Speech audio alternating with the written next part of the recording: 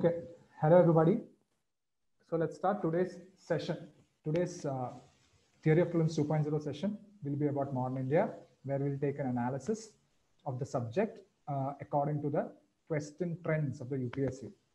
Okay, see when you when we talk about the subject of modern India, okay, one must remember that it carries a lot of weightage.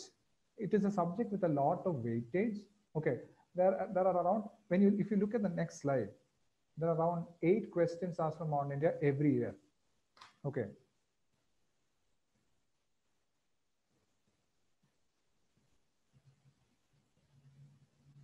Okay.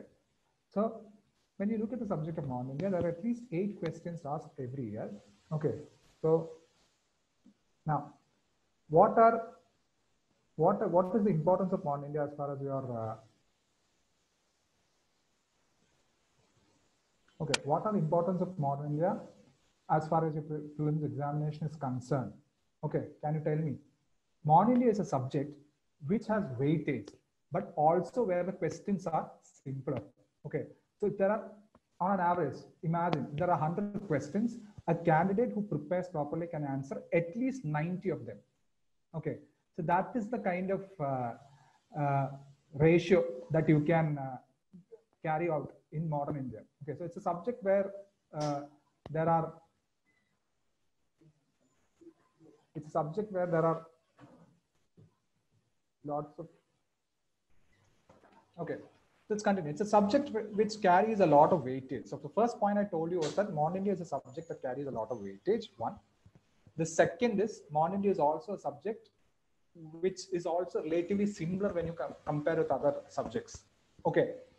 So this makes it very crucial for a candidate to have a full understanding of the subject. Okay.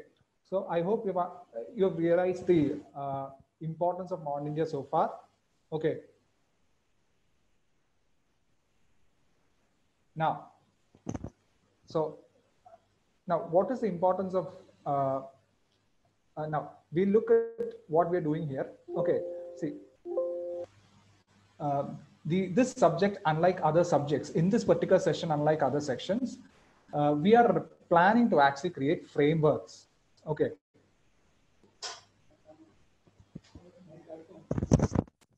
We are actually planning here to create certain frameworks. Okay, that is the uh, uh, catch of this particular session. So you may ask, what is different from modern India and the sessions that were taken earlier. The catch is very simple. See, in modern India, we are attempting to do two things. One is make your eh, revision process more simpler. The other is enable you to crack questions. Okay, so these are the things that are going on. Am I clear there? So one is enable the candidate to crack the question. The other is to make your revision simpler. So our frameworks are eh, frameworks emphasize on both those both these characteristics. Okay, I hope I'm clear there.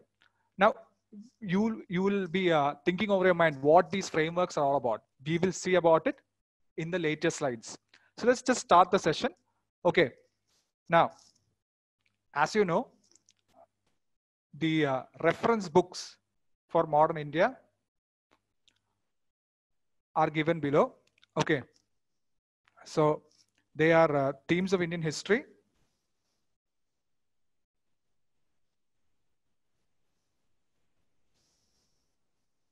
Okay, they have given below.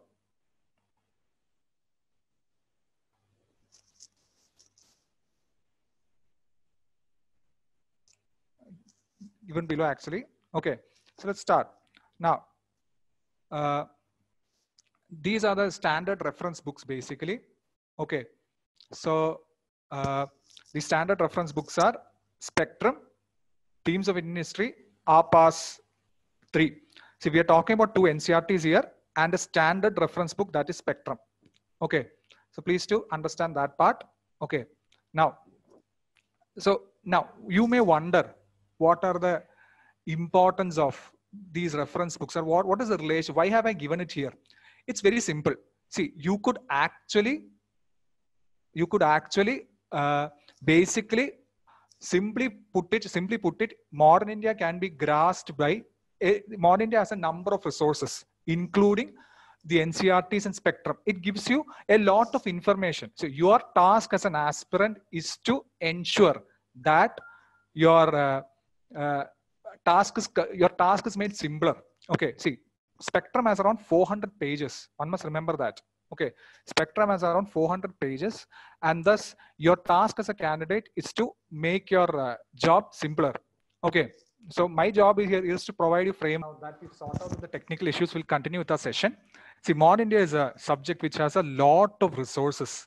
Okay, see that's the issue with the subject. It is also very vast as well as factual. So for candidate to uh, mark up the entire subject is going to be very difficult.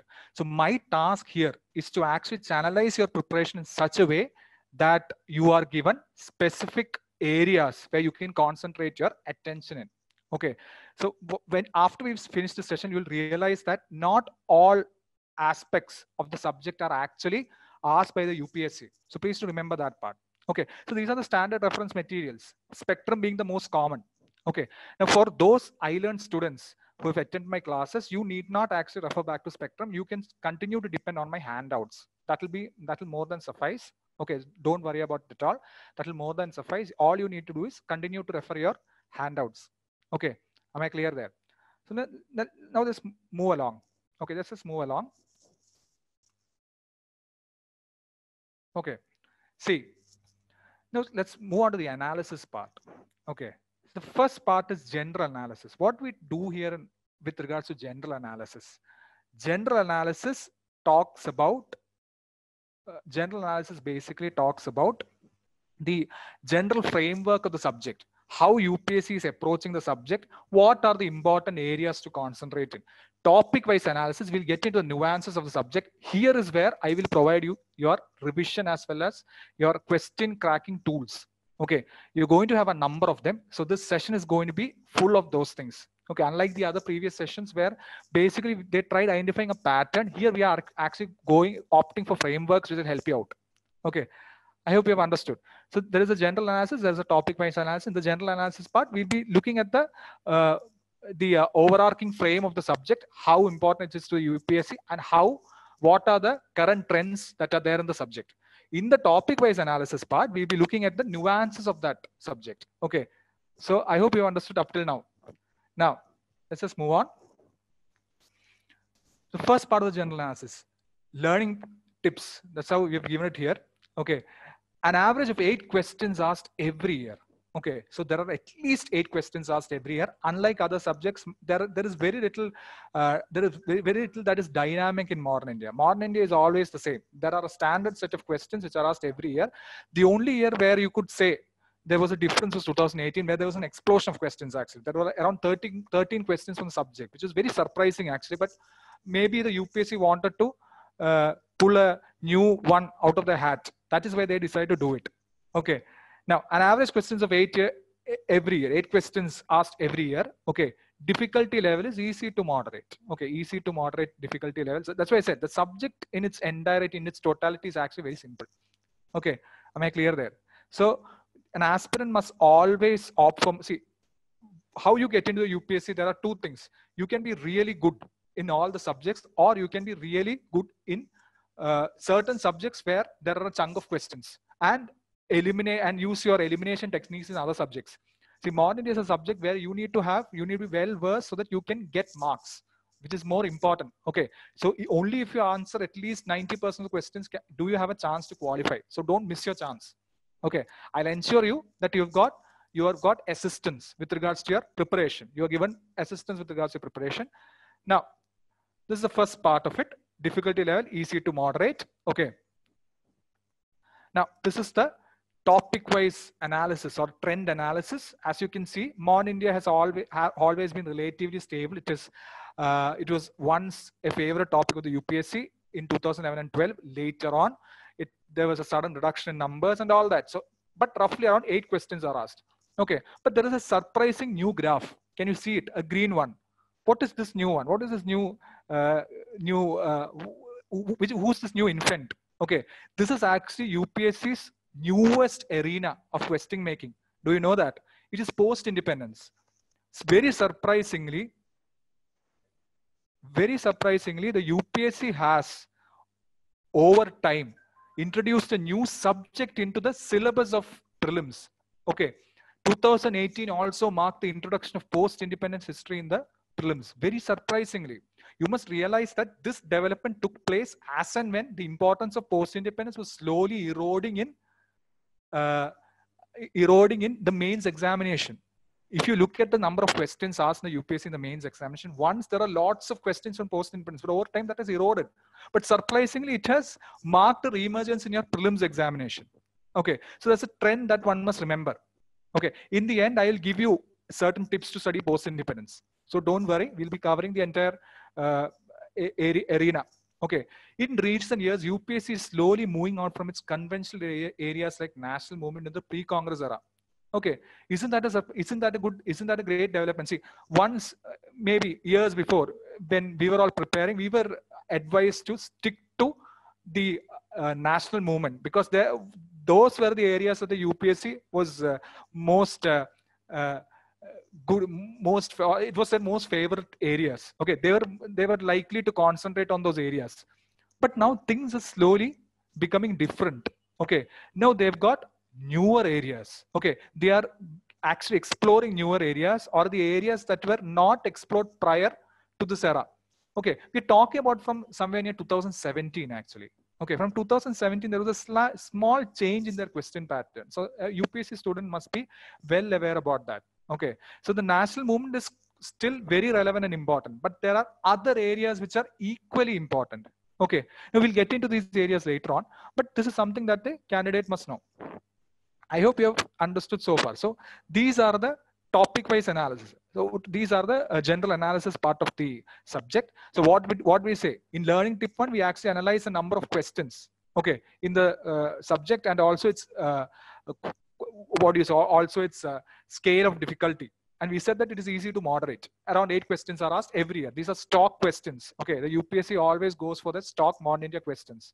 Okay now in the second slide as we saw the trend analysis earlier a surprising new development came about. What was it? A new subject a, to a totally new approach where there was a new subject that was introduced. Okay so am i clear? Very surprising development. Okay so i hope you have understood what has been taken so far. Now we'll get into the topic wise analysis part of it. Okay, this is the most important part. What, we, what we've taken so far is just an intro, just a, what is an introduction of the subject. Most of you may be aware about it, but then we just went through it. Now we'll go to the topic wise part. Okay. So learning tip one, learning tip two. We have already taken the summary. Okay. So let's go to the topic wise analysis part. Now, this is the most important part. Okay. See, this syllabus that you see before you, okay, was framed, was framed in such a way, was framed only uh, by analyzing the UPSC question trends. So this is not a natural syllabus. You got, if you look at the standard reference books, you will see that there are lots of parts that are there. Okay, but you do not see uh, areas like personality and organization as being really a topic. But we have decided to frame these topics uh, according to the UPSC's question trends. Okay, so these topics are strictly for the UPSC question trends. Okay, but nonetheless, it becomes more important. Okay, so what are these topics? We talked about evolution of constitution. Okay, very important part. Evolution of constitution is one of the most important parts in UPSC. Every year, around at least around one question is asked from this area. Okay, so you must realize that. Okay, now the next is economic history what do we learn here? Drain of wealth, how the British exploited us, so on and so forth. Okay, so I, I hope you have understood that part too. Okay, so economic history is also a very important topic uh, and it is basically a newly emergent one. The UPSC is now getting into such uh, unconventional areas as we've mentioned before. Okay, administrative changes. Okay, here we look into the uh, various administrative aspects of the colonial enterprise. Okay, so this is a very interesting part. So these are the these are the newer areas that the UPSC are UPSC is actually exploring. So you need to focus your attention to these areas too. It is not the old. Uh, uh you have to focus uh, your attention to these areas too. Okay. So personality organizations, of course, history is the subject of personalities, their contribution. Okay. So that part is important too. And uh, when you get into the topic-wise analysis, we'll give you certain insights about this part too. Okay, so this, this, syllabus has been strictly framed in order to um, in order to arm you to tackle UPSC questions. Okay, now in the eyes of Gandhi, th- see the father of the nation has always remained a central figure in the UPSC examinations. He is no, he is the father of the nation, of course, but he has remained a central figure thus far. Okay, so that is why this part is also very important. This is one of the most crucial components of our examination. Okay, so we have decided to uh, isolate this part and then create a framework to help you guys prepare in this particular part. Okay, so don't worry. If you if you feel that this is a new topic, that is when we come in. We will help you grasp that topic. Okay, so don't worry at all. See, this is different from your uh, your uh, natural preparation where you take your uh, your standard uh, text and then read through it. Okay, but the difference is here we are trying we will we have reframed the syllabus in such a way that we can equip you to tackle the examination better. Okay. Now, next is national movements. Of course, I don't have to explain about it much. This is one of the most important topics of the UPSC. Almost all of you have prepared this part well. But even if you've done that, we will give you a framework that will ease your burden of revision. Okay. And help you tackle questions. Our job is to help you tackle questions and make your revision process simpler. Okay. So now, next is rebels and the Raj. This is an uh, this is actually an unexplored area. This still remains unexplored, but a potential reservoir of questions. Okay, so one must also remember that this remain this there are possibilities that there can be questions that are framed from this part. So we have to be vigilant about that part too. Okay, so we will now discuss about the various topic-wise analysis sections. So I hope we have, I have given a, a broad framework of the subject and the approach that we are about to take. Okay. So now let's move on. The first topic, evolution of constitution. Of course, that serene face being none other than the great B.R. Ambedkar himself, the father of the drafting committee, the chairman of the drafting committee, the father of the Indian constitution. His very important quote is given there. Okay. So with that, let's just start off with the section. Okay evolution of constitution okay now when you when we start off with the section you you have already you have already maybe you've already read part of the section by referring uh, Uh, books such as Laxmikanth, okay, which has a, a dearth of information with regards to this section. But one must realize that not everything in the section is important actually. So not everything in the section is actually uh, been asked in the UPSC. Okay, see the ones we've highlighted in the in red color are the areas where the UPSC is actually asked questions. Surprisingly, even though there are these many acts, the UPSC has stuck to certain legislations only. Very surprisingly. Okay, so that's a that's a very surprising development that we have got here. Okay, these are the only areas where the UPSC have act, has actually indulged in question making. Okay, so that too is something that is very important. Okay, so now start off with the section. Okay, everybody gear on. Now, learning tip. What are what do we what have we seen here? Okay, see basically a question. I have already mentioned about it. Every year there has been a question from this section. So this is a stock section. This is a section that a candidate must prepare in his uh, uh, in his at least in his preparation part of the UP in the modern India subject. So this is something that is that cannot be skipped at all. Very, very important part. Okay. So every year a question has been posed. That's the first development that we have got here. Okay. Questions so far are focused on a few legislations and their core principles. Okay. That is a that is something that is very surprising. If you have gone through the constitution, you will know if you've gone to the history of the constitution, you will know that there are a number of provisions that are there, eh, which a candidate will find very difficult to grasp everybody in their preparation stage would have found it very difficult to grasp. Okay. But the UPSC sticks to only core principles when they frame their questions. Okay. This is something that we must know. And our framework here is based on those core principles. We are not focusing on the nuances. A candidate must must have knowledge about the nuances in his uh, preparation uh, uh, preparation part.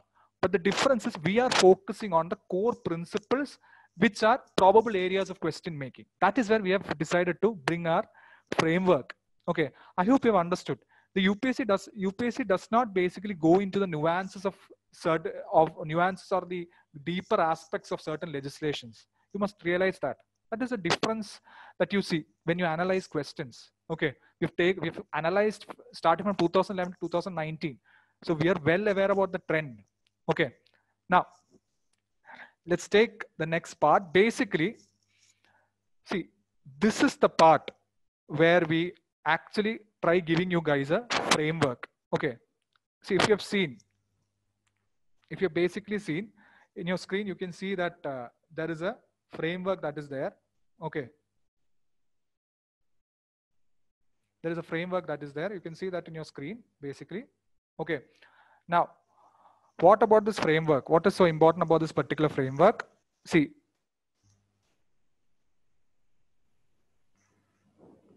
sorry, there's a small technical error there. Uh, I think there is a delay with regards to that part.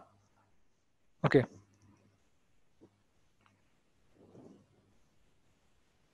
Please be patient, don't worry. Now we'll move on to the next slide. Okay, so this is the framework that I was talking about. See, seeing this, you may be confused. What is this all about? There is a triangle out there and there is a graph-like thing going on. Okay, now let me explain. Let me give you a deeper insight.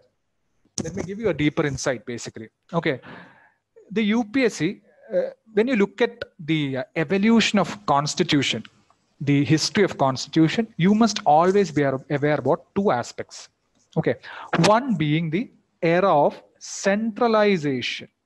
Okay, one must remember that starting from the Regulating Act, which is the first act that was introduced by the British Parliament, and uh, subsequently up till the Queen's Proclamation, what happened?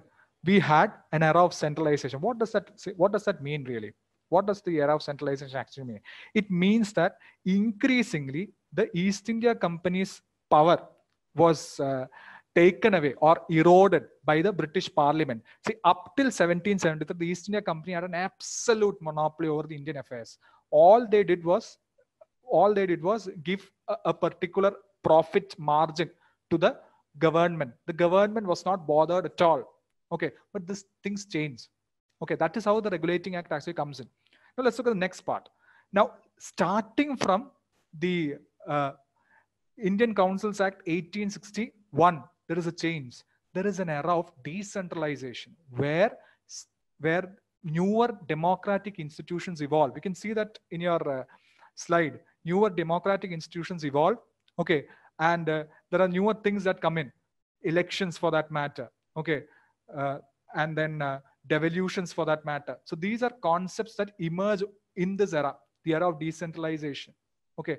So please to remember that. So when you after 1858, there was an era of decentralization where, where power was increasingly being transferred to, uh, devolved to states as well as the Indian people. Now, the Indian people slowly started having uh, their representatives in the uh, central institutions. Am I clear there? Okay. That is how elections come in the first place. Okay, so that is why this era is important for decentralization. Up till 1935, you see a continuous trend of decentralization. Okay, and 1930, that is why 1935 Act is sometimes known as the essence of the Indian Constitution. You, you may have heard about it.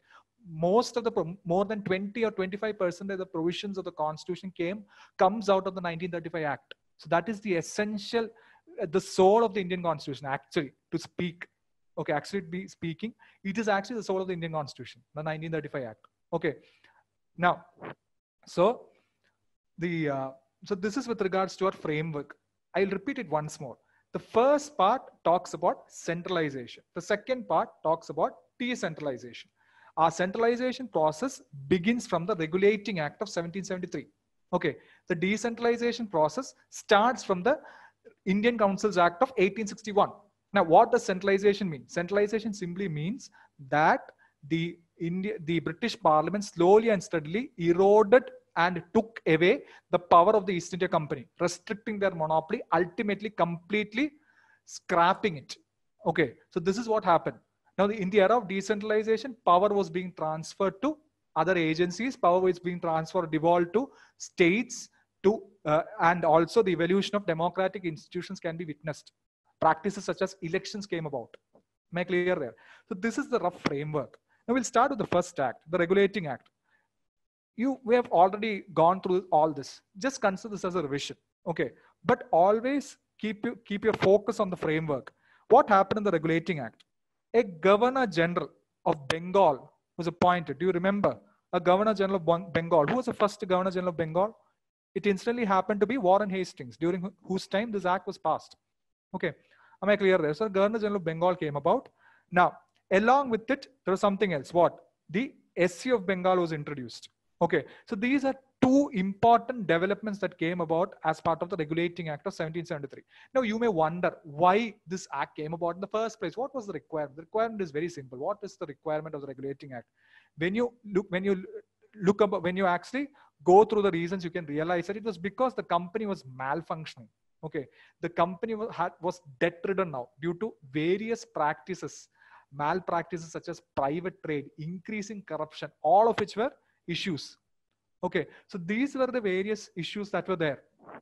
Okay, so that is why the British government decided to introduce the regulating act because the East India Company was no more of any utility. They couldn't give, they, they didn't have any profits in the first place to share with the government. Now the government actually gave them a uh, loan for them to survive. Okay, so this was a condition then.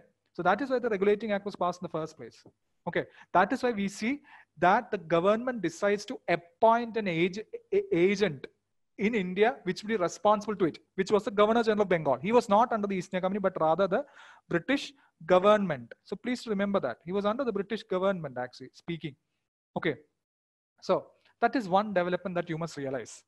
Now, SC of Bengal, why was the SC of Bengal established? That, that was because there are a lot of European citizens who were resident in India, okay, uh, who wanted to get their disputes adjudicated. So there was no agency in India which could. So that is why the East India Company or the sorry the British Parliament in that sense decides to establish an agency where the uh, European citizens resident in India, especially Bengal, could resolve their disputes. Okay, that is it. That is the importance of the SC of Bengal. Okay. So that is the first, that is the most important part in that particular act. Now we are ascending the curve. Okay, we'll see what is the difference in the Pitt's India Act. Okay, now what happened in the Pitt's India Act was surprisingly a new body was introduced. What was it known as? It is known as the Board of Control. I hope you've heard about it. Okay, the Board of Control. Why is it that? Why is this development that important? Because up till then, the company had an absolute monopoly. The only thing that the Regulating Act actually brought about was an, an agent of the government known as the Governor General of Bengal. Okay, the companies in autonomy still remained uh, uh, protected and relevant. Okay, now what happened was that the government finally decided to intervene. Okay, officially into the activities and the functions of the company. Okay, so that is the most important part. So board of control was a surprising development that came about. Okay. Now, what is so important about the board of control? Why is it? What, now, it is actually a centralizing tool. Now, why do you call it as a centralizing tool? That is because the board of control was handed over the political and revenue control of the East India Company. The political and revenue control of the East India Company was handed over to the board of control. The board of control was actually an entity within the East India Company. One must also realize that part. Okay. Now, now, who actually presided over the affairs of the company? It was a set of people known as the Court of Directors, who were the major shareholders of the company. COD, the Court of Directors. They were the major shareholders of the company. They had nothing to do with British administration and British Parliament. They were no, they were nowhere related. There were certain parliamentarians who were shareholders, but nonetheless, they were not related in any way. Okay. The board of control comprised of British MPs actually. Okay, very surprising development. Comprised of British MPs. But it was an entity within the East India Company. One must remember that. It was not an entity that was run by the parliament, but it was an entity within the East India Company so as to bring in greater accountability. Okay, am I clear there? Now, the other development was territory. What happened here? Now, the finally under this act, what happened? It was the uh, in the territory of East India Company in India was now declared as the Crown's territory. You see greater centralization. Now, what happened is was, was that it, the uh, British decided to designate the East India Company as a representative of the crown in India, which was not there before. Before that, prior to this act, all possessions were under the East India Company. Okay. Now what happened was that the crown actually finally became the sovereign. The hard work of the East India Company went to the drains, basically. Okay. Now I hope you've understood that this is how we uh, we are ascending the curve of centralization. Slowly and slowly, centralization is gaining foothold and is gaining grip. Okay. So these are very essential concepts that one must remember. There are also other things that came as part of the Pitt's India Act, but we are not getting into such stuff. We are only getting into the major stuff here. Okay. Now, like uh, the civil services, the nomination of the civil services was left to the court of directors. This is one other important point in the uh, Pitt's India Act. But we are not get in this framework. We are not including that part. Okay. Now, next, let's move on to the next act. Now, you we are once again ascending the curve. Now we'll see what happens here. In the Charter Act of 1813, you've already seen the Charter Act of 1813. In the Charter Act of 1813, what happened really? In the Charter Act of 1813, the, for the first time, the company's pro- monopoly was restricted. Okay, what happened? The company's monopoly was restricted. See, as you know, the political and revenue control of the company had now uh, been uh, give, been uh, provision to the board of control. The COD was left with the commercial monopoly. This was as per the Pitt's India Act. Commercial monopoly was left with the COD. Okay. What happened in the Charter Act subsequently? The company's commercial monopoly was slowly eroded. Now, where what happened there? Their monopoly was restricted to only two areas. One being trade with China and the other with regards to tea. So now you see a steady erosion of the company's sovereignty and its functioning. Okay, the company is slowly being displaced with the government becoming much stronger than them, the government and the parliament. Can you see the difference? Okay, now why did this act come about? Why was this? Why was this there? there is, why was there a necessity for a sudden knee-jerk reaction? Can you tell me? That was because of the exploits that were being undertaken by Napoleon in Europe. Napoleon and he had introduced something known as the continental system in Europe. Most of you may have heard about it if you have gone through, if you've prepared for your world history syllabus. Okay, if you haven't, I'll just explain what that is. Napoleon Bonaparte had become the sovereign of France. He had become a very strong emperor. He had almost conquered the entirety of continental Europe. The only thing left was the island nation of Britain. As you know, Britain is actually an island nation. Okay. The only thing that was left was the island nation of Britain. Napoleon decided to institute an embargo, trade embargo against Britain in order to counter them. So Britain now could no more transact their goods to continental Europe. They were left in the lurch. Now, what did they do? They wanted to find an alternate market. They had to develop an alternate market. America had become independent by 1782. So that was not an alternative at all. The only alternate colonial ma market they could find was India because India had a significant consumer base. Am I right there? Okay. So that is why they decided to, under the Charter Act of 1813, they decided to restrict the uh, commercial monopoly of the company, introducing newer investors, newer players. Okay, now many British investors could invest too. Okay, that was actually a measure to protect these investors, but it led to the curbing of the uh, alba, the uh, the earlier uh, absolute mono, absolute monopoly of trade that the East India Company enjoyed. So the East India Company is slowly losing its position. Can you understand that? Okay, now we have given something. There is something known as a great opening. Why have we, why have we given it here? See, when the East India Company's monopoly was slowly being curtailed, lots of other things happened on the other part. Now, what happened was that if monopoly is curtailed, then what is the result? The result is very simple free trade. Okay. There was something known as free trade. Am I clear there? So, free trade was a very important tenet that was introduced as part of the Charter Act of 18 that it was restricted free trade because it was not absolute because the company still enjoyed decent monopoly over trade with China and tea. And both these areas were very, uh, what do you say, lucrative areas where there was lots of trade happening across the world. Okay. So free trade, in a certain measure, free trade was introduced. Also, you may have heard about the changes that were brought about in education. Okay. We'll just continue. Now, what happened was that Charter Act of 1813 was a very important development that took place. Okay, so please remember that part.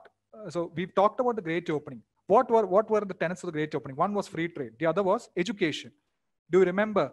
One lakh, a significant corpus of one lakh was set aside for education. Okay, am I clear in that part? Okay, so please to understand that part. This, this is another part of the Great Opening. Now, even missionary activity was allowed in India which was erstwhile, which erstwhile was banned by the East India Company because they did not want to tamper with the cultural tenets of the country. So it was banned by the East India. Even missionary activity was, was not allowed. Okay, am I clear there? So please to understand that this is the great opening. Now, when you go to the Charter Act of 1830, in between I have skipped an act, the Charter Act of 1790. I have done that because that is irrelevant. So you don't need to prepare that particular act for your UPSC examination. Okay, now we'll continue. Charter Act of 1833. Now, what happened here? What happened here? Just just think of it. We have we are again ascending the curve of centralization. Now, what may have happened here? The complete monopoly of the company was stripped away. The company was stripped away of its trade monopoly. Now it had no monopoly at all. It was just a skeleton of its former self. It the only function the company did was actually managing administration. Okay, that too, whatever the government would impose over it. The government would tell them to manage this thing and they'll do it. That is it. So the company was made a skeleton of its former self, basically. Okay. So you should remember that. The company had no powers. Now, you should remember that as part of the, the Act of 1833 is very instrumental for bringing in a, a, a level of centralization that was never witnessed before. It, it brought in a lot of centralization as part of which what was introduced? The governor, the post of the governor general of India was introduced. Okay. The post of the Governor General of India was introduced. Who was the first Governor General who instantly happens to be first Governor General? William Bentinck. Okay. I hope you you know that. 1830, uh, 1833. Who was the Governor General? It was William Bentinck. Okay. So Governor General of India was introduced. So this is another uh, another fig leaf with regards to centralization. Centralization just continues to ascend.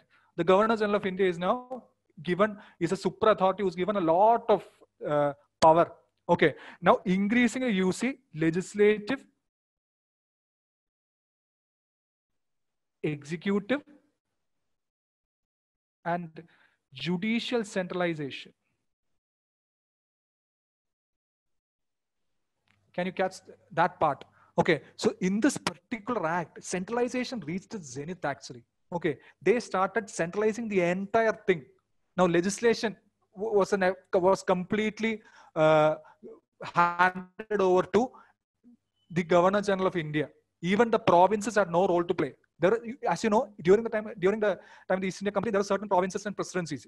For example, Calcutta was a province, Bengal was a province, that is, uh, Madras province, Bombay. Okay, so there are lots of provinces. Now, none of them had any powers. Everything was given to the Governor General of India. So there was a complete centralization. So it was part of this judicial centralization that Thomas Macaulay was given a particular function. Now, what did Thomas Macaulay do?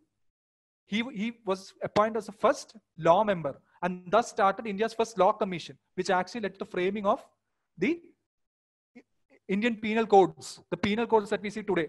The framing and the codification of law came as part of this particular act. That is because that there was a zenith in centralization. So centralization is the key concept that one has to look out for. Am I clear there? Centralization is a very key concept.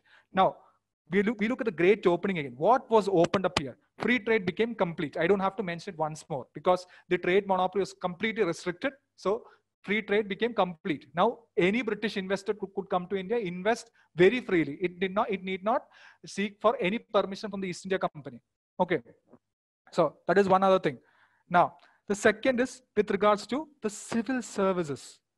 For the first time, this act actually provisioned that the civil services, uh, the Indians would have a chance for writing uh, or Indians would have a chance to get in, into the services because it had, it had mentioned a particular uh, provision where it said that there, there would never be discrimination against any citizen of the British Commonwealth. That, that is what the provision meant, which meant that for any examination, anybody could attempt, anybody would have an equal chance. Okay, but unfortunately, this was actually never implemented. So 1833, this was a non-starter. The East India Company did not allow for their uh, very uh, impressive power of nominating civil servants to be uh, let go, they, they never let go of it. Okay, so this was never implemented. But nonetheless, this was also an important provision that came as part of this particular act. So the great opening also led to an increase in missionary activity. Now the missionaries are allowed to undertake proselytization activities, start institutions. That is how you see a flurry of missionary activity coming into India, especially into the Northeast, a lot of religious institutions being established.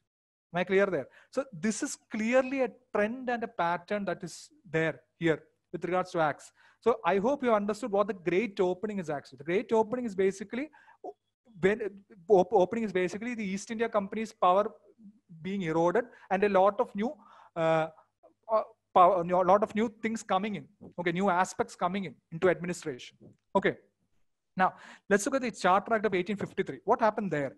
Again, we see about we look at the great opening. The great opening actually consolidated. Okay, civil services completely opened up. Now anybody could uh, enter the fray enter the fray of the examination. Anybody could attempt that particular examination. The civil services were opened up.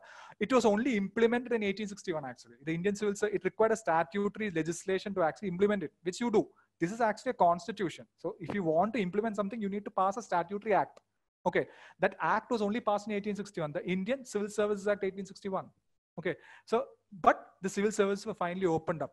The company lost its absolute power even over the appointment of civil servants. The court of directors had a special power of appointment of civil servants. That was also lost. So this is what the great opening actually means. Okay, now the final act in this in this particular part, the era of centralization, we ascend the curve and finally reach its peak. What happened? The Queen's proclamation after the revolt of 1857, as you all know, what happened? The company was discarded. Okay, the company was no more relevant. They were made the scapegoat of the revolt of 1857, and the Queen consequently passed a proclamation where she said that from now on, India would be ruled directly by the crown. Okay, that's the most important aspect of that particular legislation. Directly ruled by the crown. Okay, now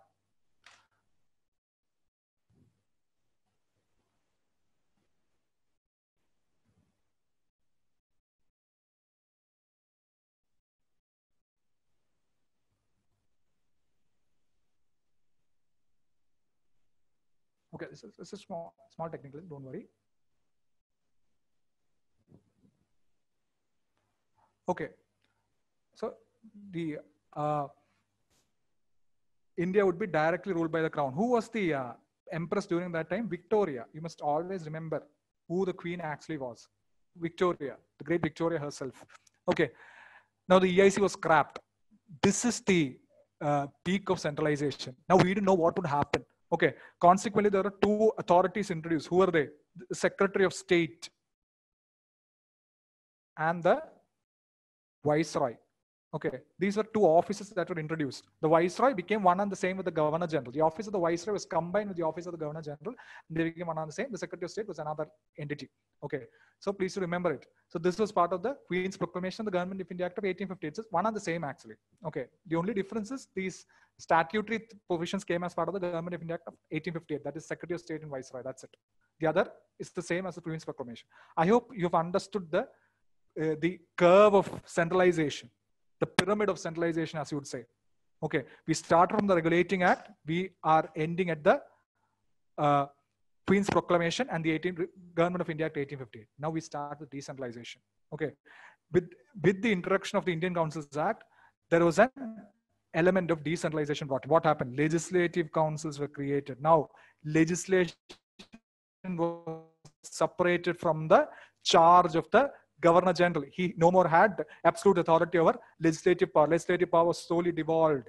Now, what happened as part of 1861? Indians were nominated into the legislative council. What happens? Indians now slowly have, have a say over legislations. I hope you have understood that part. Indians slowly, Indians have a say over legislations. Okay, so that is the first important provision that, that is there. Indians were nominated as well as what there was a devolution of power. Basically, there was a new legislation, legislative council created, which was responsible in the passage of legislations. Okay, what is portfolio system? There was also a strict division between the legislative and the executive, where the legislative would uh, restrict itself to legislative making, whereas the executive, led by the governor general and his executive council, would manage the uh, governance part of India. Okay, that is, they decided to create a portfolio system, that is ministership, where each advisor was given a ministerial post. Okay, I hope you've understood that part.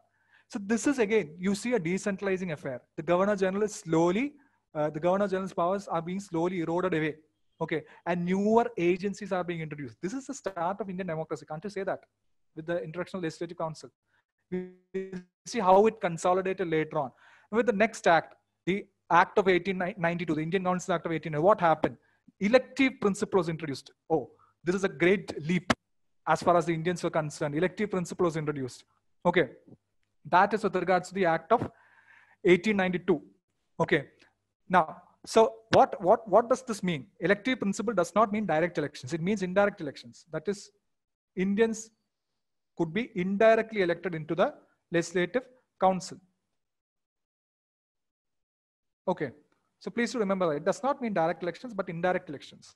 So this is the first act, the Indian Councils Act of 18, sorry, the first, the second act, the Indian Councils Act of 1892 that we are talking about here. Okay, so please remember that. So here an elective principle was introduced. Now,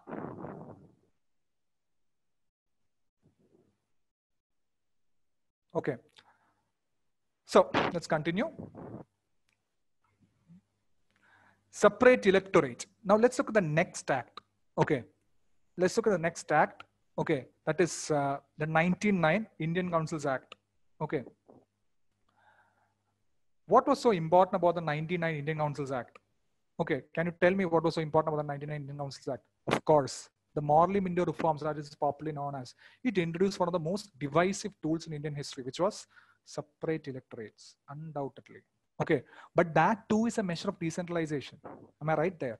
Okay, in this particular act, separate electorates were introduced along with provisioning the legislative council better powers. What was done? The legislative councils were given the power to what? Power to discuss and pass resolutions on public matters and the budget. Discuss and pass resolutions on public matters and the budget. Am I clear there? Okay. So these are things that you must understand. Okay. So I have explained all the the graph of centralization. I'm starting the graph with the graph of decentralization. We have reached the Indian Councils Act of 1892. We've reached the Indian Councils Act of 1909 actually. The Minto reforms where we, we spoke about separate electorates. What are separate electorates? What is the difference between general and separate electorates? General electorates joint, there are joint electorates with reservation as you see today. See, so today we've got certain seats reserved for the backward classes where only their candidates can stand for election and everybody has a right to vote. What's the difference with, between that and separate electorates? In separate electorates, only those candidates from that community can stand and vote. Okay, so that is the difference. Voting power is also restricted there, which is a very device, which is a very divisive tool. Okay, so remember that, which was the first community to be handed over the uh, the power or the authority under or was handed over separate electorates. It was a Muslim community. That is why the Muslim community for the first time was given the communal electorates. So communal electorates are actually a subset of separate electorates. That is it. When a community is handed over separate electorates, it is known as communal electorates. There are also other communities who are given separate electorates. That's what I wanted to say. See, Indian Council Act did not introduce uh, separate electorates for only Muslims. It introduced separate electorates for the Chamber of Commerce of Bengal for the zamindars of Bombay. The Muslims are the first community to be handed over separate electorates. That's why it's also known as communal electorates. Okay, let's move on. So the decentralization pattern continues. Okay, now one must remember that most of the Indians, now most members in provinces or a majority of members in the provinces were indirectly elected. Okay, do you know that? That's a new development that came about as part of the Indian Councils Act majority members of the provinces were indirectly elected. So what you need to do is don't study it by heart. This is decentralization. What will happen in the 1892 Act? The first, uh, the first signs of uh, elections appear where a number of Indians got indirectly elected. In the 1919 Act, this 1909 Act, this was consolidated. Okay, and more number of Indians got indirectly elected in the provinces. Okay, whereas in the Central Legislative Council, the direct the uh, British majority was maintained. Okay. Now, so let's continue. Now, what about the 99?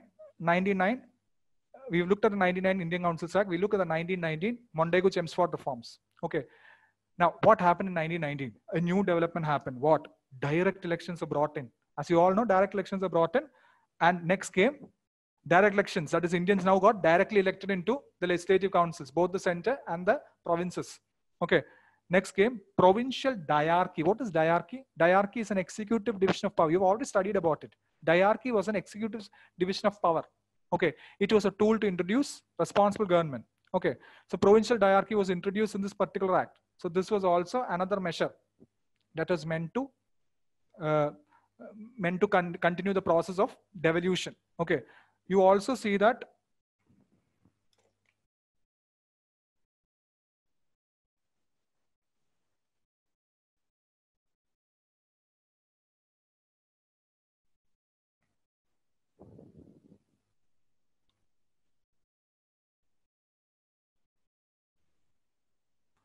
Okay. You also see that there is a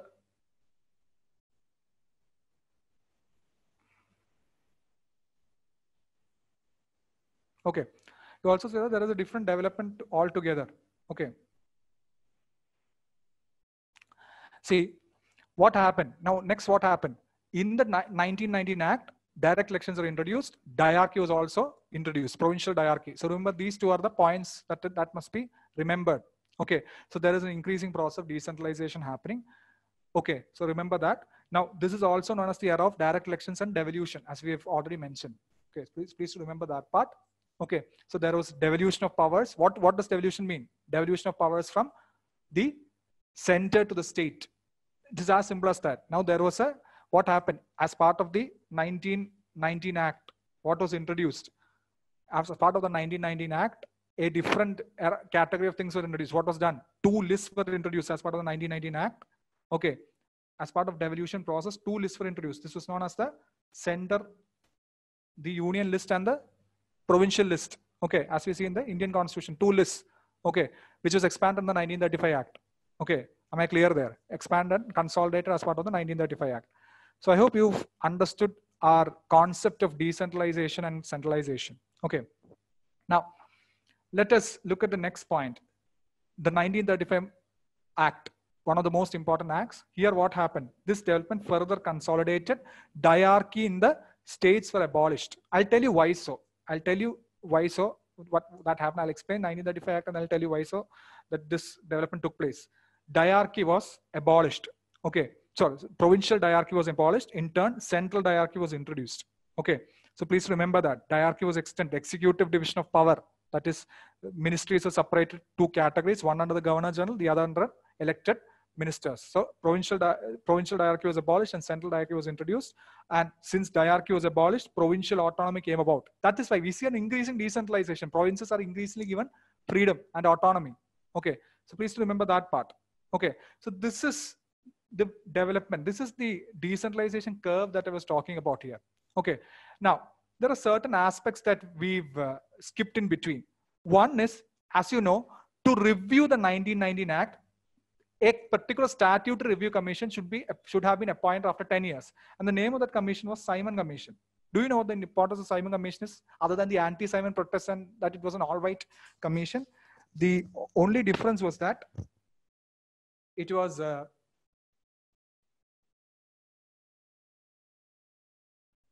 The difference was that it was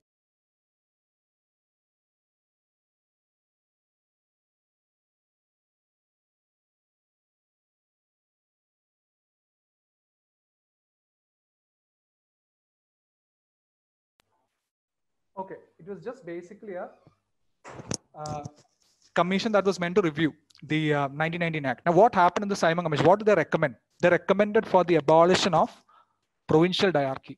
Okay, that is why in the 1935 you see a slow shift. Provincial diarchy was abolished and introduction of central diarchy. That's the importance of Simon Commission. It also recommended for the holding of the roundtable conferences. Do you remember Gandhi going to London and participating in the roundtable conferences?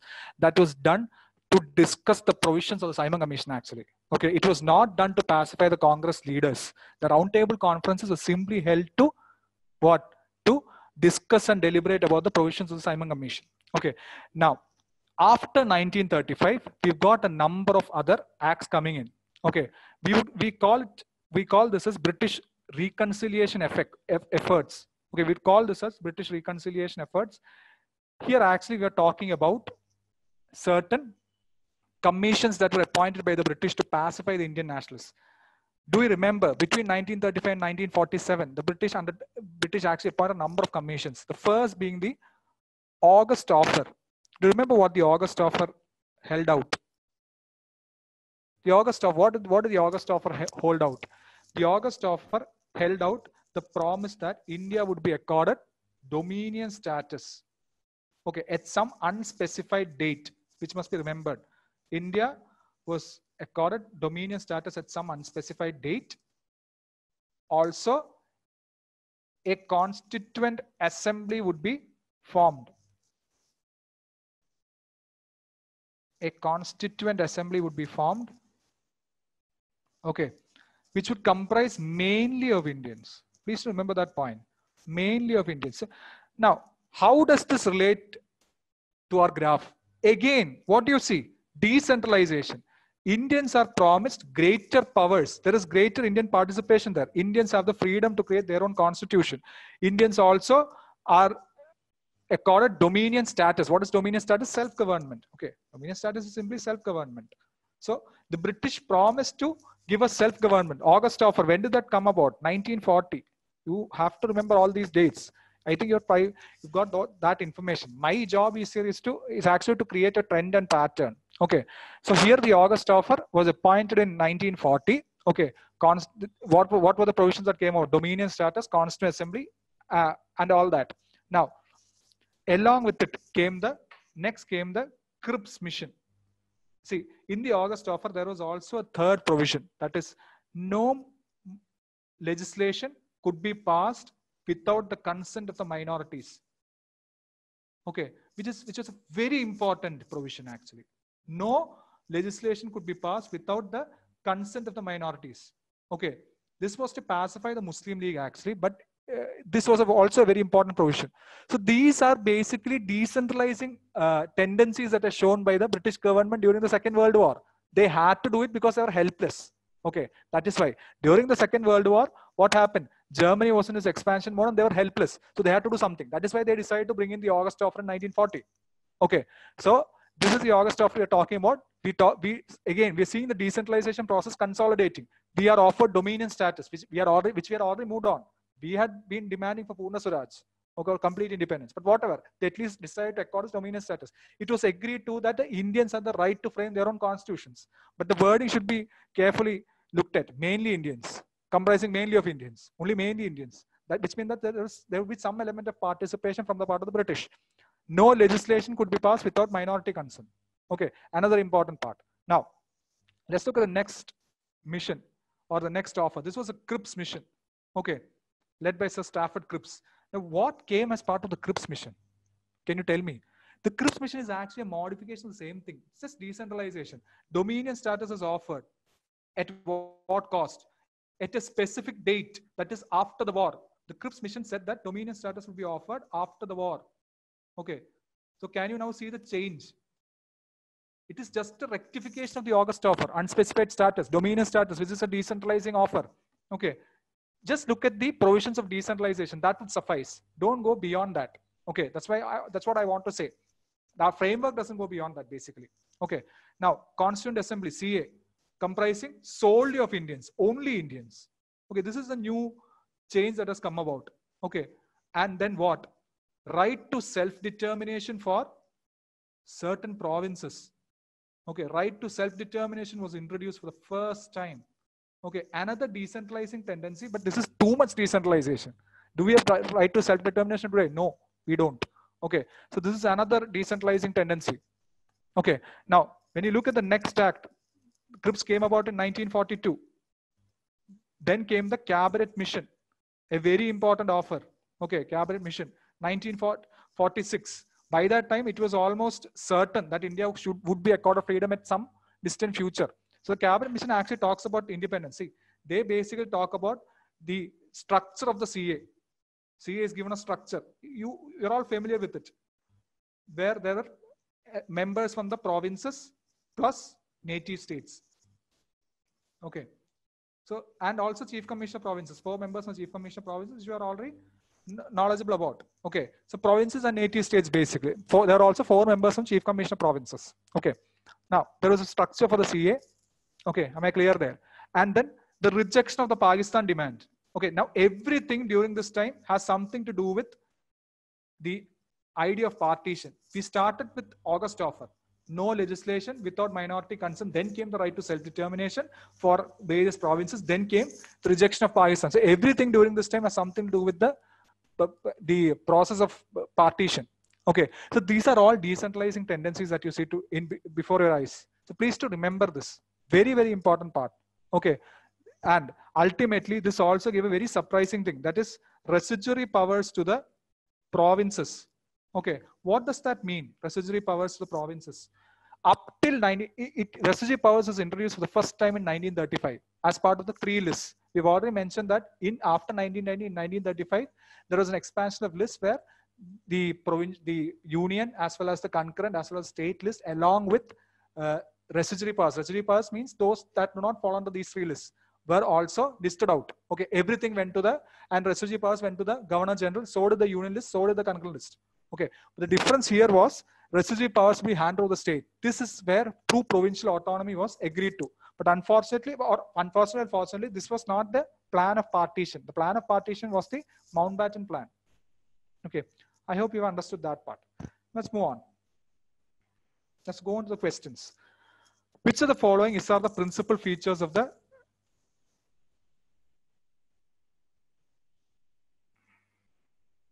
Okay. Which of the following is are the principal features of the Government of India Act 1919? Okay, let's just before that, let's just move on to the evolution of constitution. Queen's proclamation. Do you see the question? What was were the object objects of the Queen's the Queen Victoria's proclamation? Okay, let's just go through this to disclaim any intention to annex Indian states. Let's look, let's just think about our framework. Don't go beyond our framework. Okay, let's look at, let's just think about our framework. To disclaim any attention to, any intention to annex Indian states, to place the administra Indian administration under the British crown. Is that right? Yes, we did talk about it.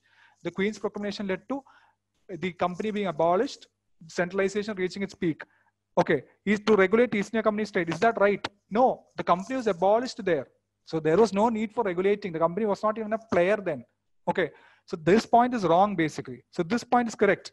Now, an inherent part of the Queen's Victor, Queen Victoria's proclamation was it disclaimed any intention to annex Indian states. So you could have actually eliminated two options had you actually only thought about the aspect of centralization. This is how you make your study more uh, thorough. Okay, this is how you ba basically create a foundation for your preparation. Okay, think about the concept of centralization. Think about the concept of decentralization. It will repeat. I guarantee you that. Okay, so I hope the answer there is clear to you all. The answer there is one and two. Okay, now let's move on. Charter Act of 1813. Okay, so what was so important about the Charter Act of 1813? Can you tell me what was so important about the Charter Act of 1813? In the Charter Act of 1813, look at the measures given out. Trade monopoly of East India Company in India restricted. Okay, is that right? Yes, it was. We've already seen the transition of centralization in our graph. What do you see there? Centralization increased during the 1813 Act where trade monopoly was restricted. Think about that only. Okay, then what do you get? This is right. Now, it asserted the sovereignty of the British Crown over the Indian territories. Yes, it did. It started from the Pitt's India Act. Do you know why they are known as charter acts? They are known as charter acts because it was a responsibility of the Crown to issue charters to the company after the Pitt's India Act. Okay, so in every charter act, they would reassert the same thing that it was the part of the company, it was the assertion, the crown was the sovereign of India and all that. Did we reassert in each charter act? If charter act was issued 20 years, in every 20 years. Okay, so now the revenues of India were now controlled by the British Parliament. Is that right? Yes, of course. Okay, now Basically, the revenues of India were controlled by the British Parliament. Is that right? No, it wasn't. Now, what was created for controlling the revenue? The Board of Control as part of the Pitt's India Act. Okay, so the board of control actually controlled the revenues. The parliament did not. The board of control had parliamentary representatives, of course. I do not deny that fact, but it's part of the company. Okay, so what is the answer out there? The answer is very simple one and two. Okay, so these are the kind of questions that are asked in the UPSC. They are only looking at basic aspects. What we have seen in the curve are just basic aspects. Okay, they are restricting their questions to principles. Okay, now let's move on the Government of India Act of 1919. Can you see that? Now, look at what the concepts are. Diarchy, communal electorate, devolution. Okay, these are all very common concepts that are repeated time and again. Okay, so these are all part of our curve. Do you remember? So what, can, can you tell me the answer here? The answer is very simple. The introduction of diarchy in the executive government of the provinces. Is that right? Yes, it is. Provincial diarchy. Introduction of separate communal electorates for Muslims. Yes, is it, it is. Separate electorates were for the first time. Sorry, this is this came about in the Indian Councils Act of 99. So please remember that too. Okay, communal electorates, for instance, are introduced as part of the Indian Councils Act of 99. We have already mentioned about it. Separate electorates were expanded later on. Okay, devolution of legislative authority by the center to the provinces. Is that right? Yes, I have told you about the introduction of two lists.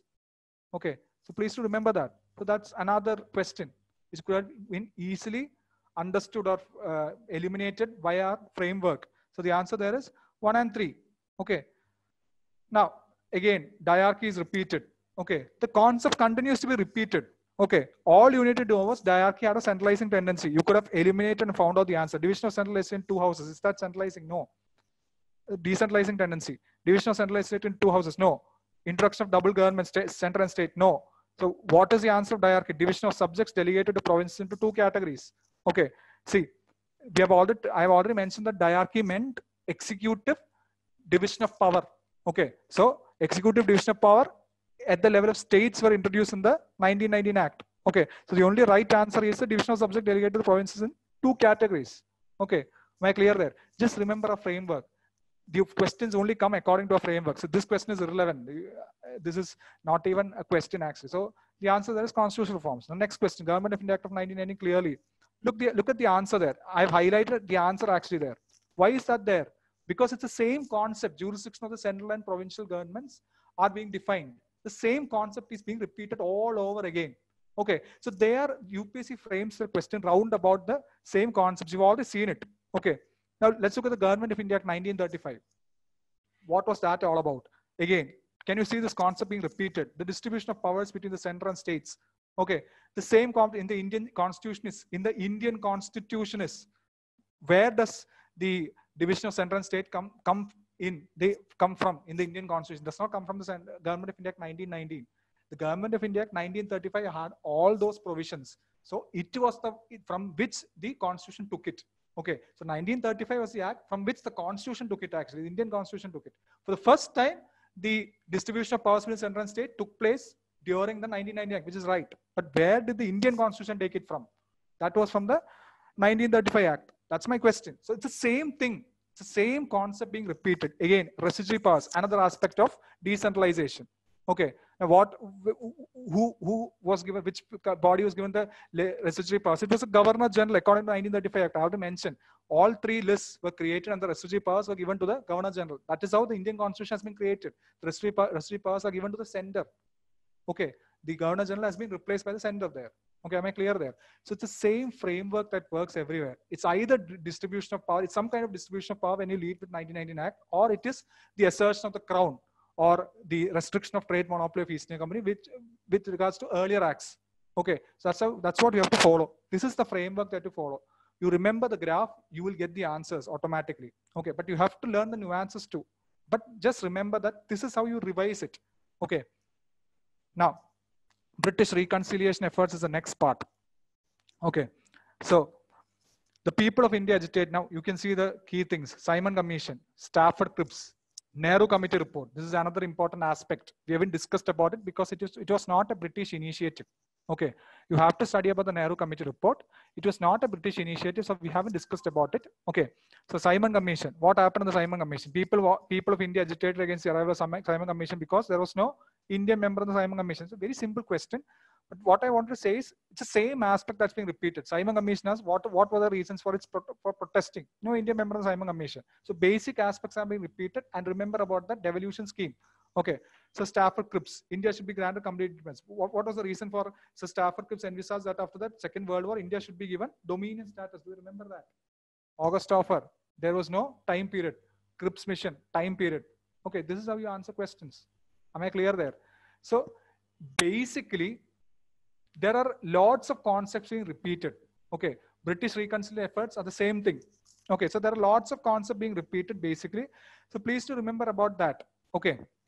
Now Nehru Committee report is a separate affair altogether, which you guys have to solve. Okay. The answer there is, let's look at the first option, complete independence for India. No, ruled out, dominion status. That is what came about in the Nehru Committee. This is something that you guys cannot get in from the framework. Okay. Because the framework is relegated to only British uh, British rules, okay, or British committees. Now, joint electorates for reservation of seats for minorities, yes.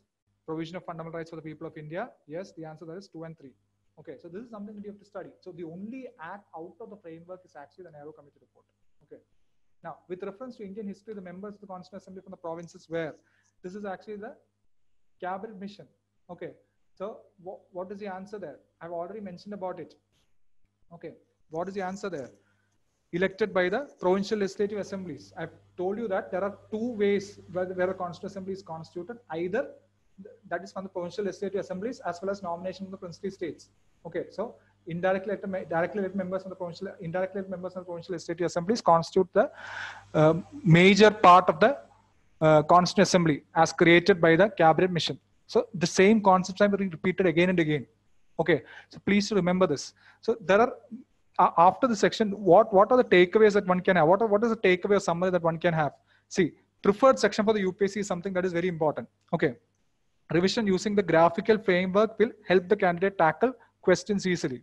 Okay, the candidate can tackle the questions easily by using this graphical framework. Okay, now question scale easy to moderate. Okay, so easy to moderate is a question scale. So use the graphical framework, the pyramid of this thing that we talked about here earlier.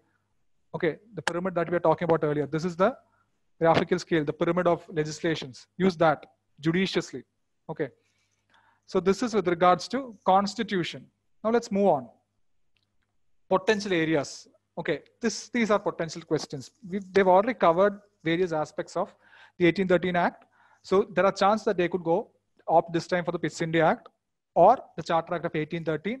Also cover various other aspects of the 1935 Act. These are possible areas. Okay, as we have already seen, the, U, the UPSC has almost exhausted are almost have exhausted the questions with regards to Government of India Act 1990. There are almost four questions that have come from that area. So almost every single concept has been exhausted. So they may move into newer areas. Okay, that is these areas. The Pitt's India Act of 1784, Charter Act of 1833, so on and so forth. Okay, now we'll go on to the next topic, economic history of India. Do you know who that old man is? He's Dadabhai Naoroji. He's actually, he was thinking about the drain of wealth thesis in this particular picture actually. Okay, so this is what happened. He was thinking about the drain of wealth thesis and he calls drain of wealth as moral drain. Okay, this is our second topic, economic history of India. Here we'll uh, deal with the economic exploitations that, that un were undertaken by the British in India. Okay, so let's move on. So various sections, these sections, only from these sections have questions being posed. Okay, that is the understanding that one must have. Only from these sections are questions being posed economic nationalism and growth of capitalism is yet to be untouched, but it is still relevant. It is uh, they, they are still relevant parts of the syllabus. Okay. Now let's move on. What is the most important aspect of the, this particular uh, section? See, spectrum will suffice, will help you in get fetching full marks in this section. Please remember that. Okay. Spectrum is actually a one-stop solution with regards to this section. Okay, that will guarantee the candidate handsome returns. It's a one-stop solution.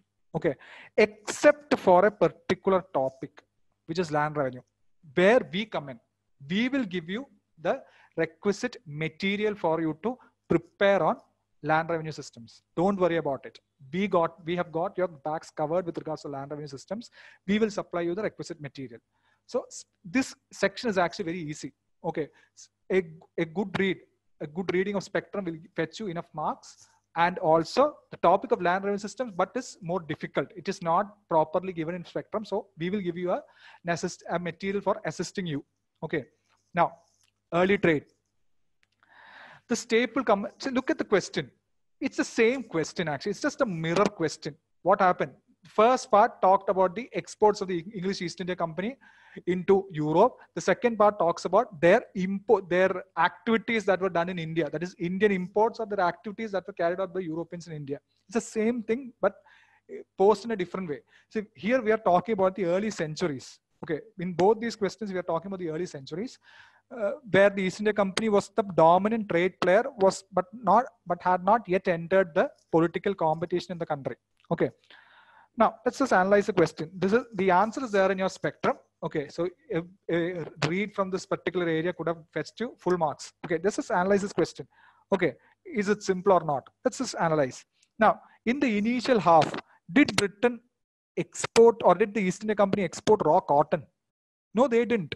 See, in the first half of the 18th century, the Industrial Revolution had not set in. It was only in the 19th century that in, in, in the early half of the 19th century that Industrial Revolution consolidated. Okay, so raw cotton was not an item of export. Do you know why so? Because it would not fetch them prices. What the East India Company did was mercantilism. They would fetch certain products from India and sell it at exponential prices abroad in Europe. Okay, that is what they did. So they they would take products at a very cheap rate and then sell it at very high rates in England. Okay, that is what the traders here did actually. Okay, so raw cotton would not fetch them anything. You needed to transact textiles basically. Okay, so the major items of export from India were textiles, opium, and salt saltpeter. These are all major items of export. Okay, so you had to export, you had to basically from India, the East India Company from India exported textiles to Europe where they sold it at very exorbitant rates. Okay, that is what happened. Now let's look at what the options are. Raw cotton, you can eliminate it immediately. Okay. Sugar, salt, zinc, and lead. India is not rich in non-ferrous minerals. Please to remember that. you may have already seen that in geography. India is not rich in non-ferrous minerals. Look at copper, silver, spices, and tea. Okay. Copper, silver, spice, and tea. Now, so basically, you can understand that India was not rich in any such thing. See, gold and silver. India, India was never a rich source for gold and silver.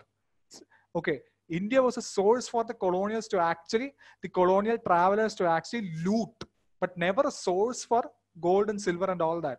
Okay. That is why we historically we have had a craze for gold. Okay. Please remember that. Historically, we have had a craze for gold. Okay. Now, that is because our pro, for example, we transacted spices and we got gold in return. Okay.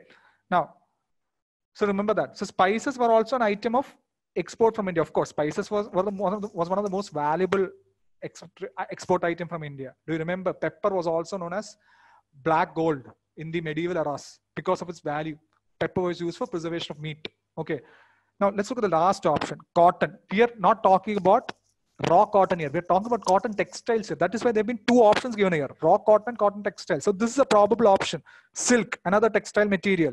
Opium, saltpeter. So in each of these options, you've got, in each of these options, you've got materials which you can eliminate. Raw cotton, it's not possible.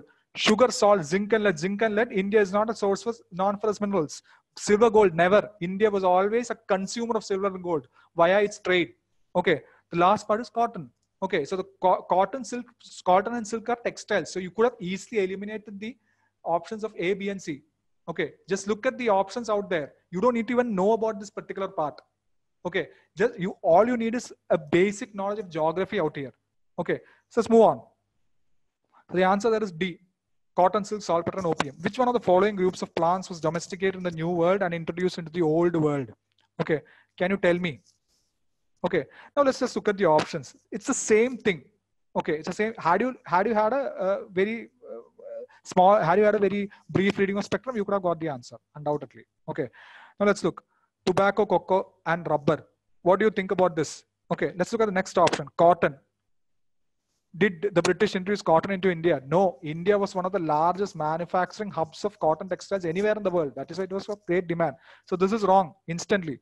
Cotton tea, again cotton, again wrong instantly.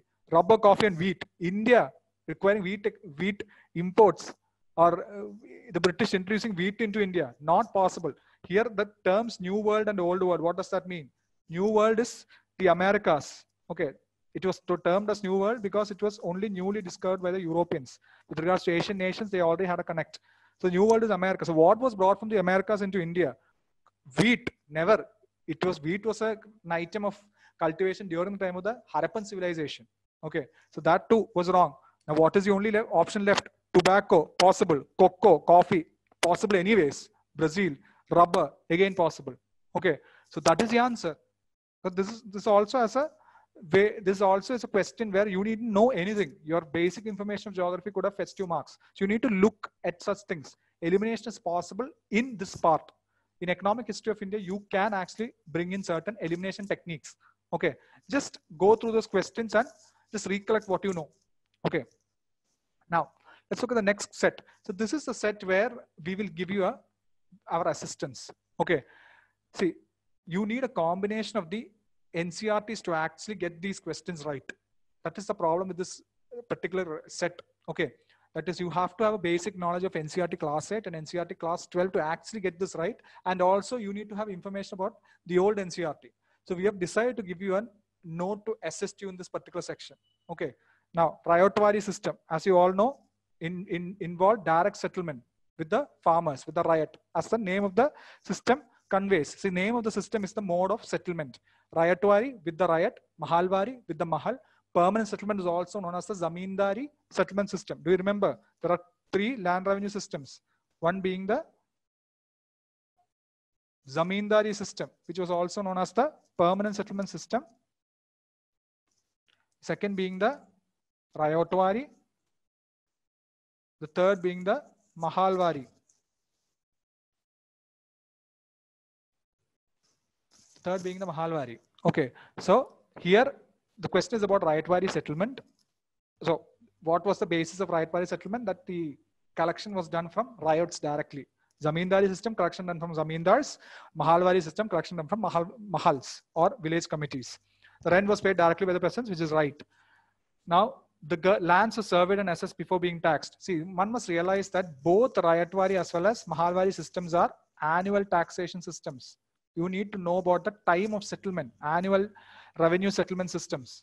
Okay, annual revenue settlement systems where there needed to be a reassessment of land before the taxation was fixed. Zamindari system was a system where the taxation was fixed initially and it continued indefinitely. So it's it was a system that was not annual but indefinite period of tax of revenue assessment, uh, indefinite period of revenue. Okay, where revenue is assessed in the first year. Okay, and then it continued indefinitely. The revenue is fixed at 10 by 11th of the produce of the farmer. But then this amount continued indefinitely. Okay, so that is the difference. These are annual assessment systems. For so this statement for both these systems would have been right for Mahalwari as well as Rayotwari. So you need to know the mode of or who actually pays the revenue and the year of assessment. Okay, reassessment. Every year, reassessment is carried out in both Mahalwari and Rayotwari systems, whereas it is done it is extended for an indefinite time period with regards to Zamindari system. Okay, so that is the catch of the question. Now, when you look at when you look at the answer, you can easily get the answer. What's the answer? One, two, and three. Okay, so getting option one and option three right here is crucial. Okay, so the answer there is one, two, and three. I hope you have understood. Now, next question is extremely simple. Again, Rayotwari system over the founders. This this is directly taken from the NCERT class 8. The answer there is Alexander Reid and Thomas Munro. Okay, so please remember that. C. Lord Cornwallis permanent settlement. Who found the Mahalwari system? Holt Mackenzie laid foundation to the Mahalwari system. Again, another fact from the NCERT. Don't worry, we will give you a handout in this part, which will complete your preparation. You don't need to need anything else. I can assure you that part. We'll move on. Okay. Economic critique of colonialism, another important portion again directly from spectrum. That's why i said all you need to do is read that part from spectrum economic history of india from spectrum. That will fetch you enough marks. What's the answer out here? Commercialize. One of the results of the british rule in india increase in export of indian handicrafts. Was it? India was deindustrialized. The basic concept of economic history is deindustrialization. Okay. Am i right? Deurbanization Am I right there too? Deindustrialization would naturally lead to the destruction of urban centers, deurbanization, which led to disguised unemployment. Okay, remember this always. These are certain characteristics that you must remember. Disguised unemployment. Okay.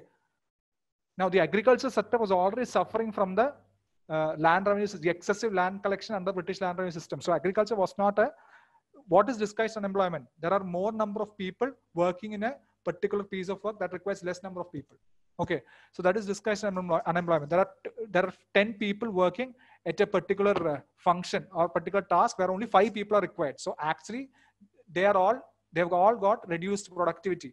Please remember that part. Okay, so these are all uh, uh things that have come about due to the process of economic uh, drain.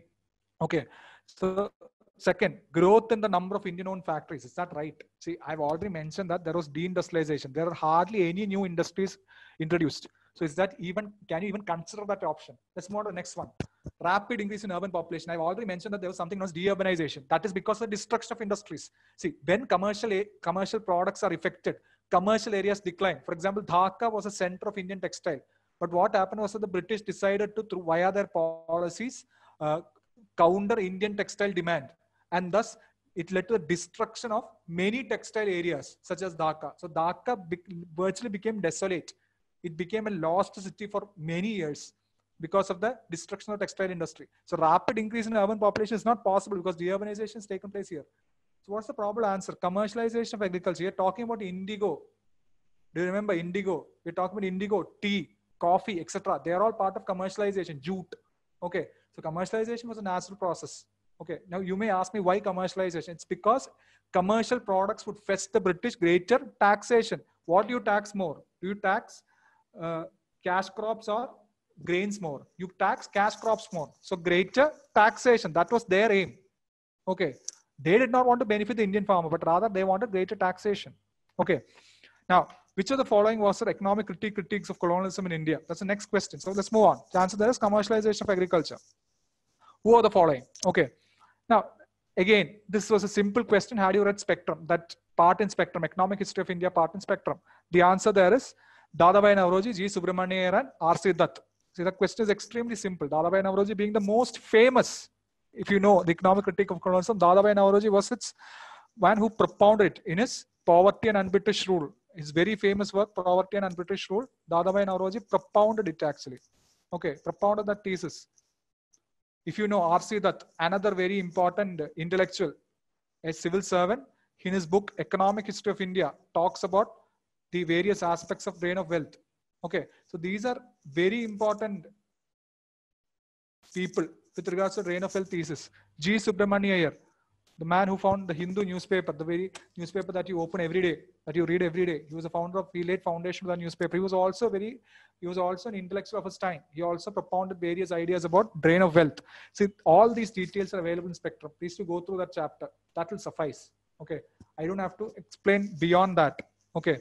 Now, summary. I've already mentioned about it. Spectrum Modern India please to go through that economic history of India spectrum it. That will fetch you enough and more marks. Next, I have also given the chapter name and all that. Now you, if possible, you have, you try reading old NCERT.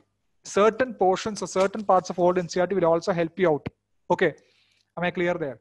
Now, a comprehensive material for land revenue systems will be provided. We've already mentioned about it. This is all there in your uh, we have already mentioned about all that. Now, question easy to model. Questions are really simple. We have already cracked half of it without any basic information. So questions from this can be eliminated by using very logical ideas and also preparing from spectrum. And you prepare land systems from our handout. That will suffice. That will give you, that will fetch you full marks in this part. Let's move on. Now, the next part is one of the most crucial components of uh, potential areas, sorry. Potential areas, what are the potential areas in this particular chapter? Mahalwari system. Rayatwari has been exhausted.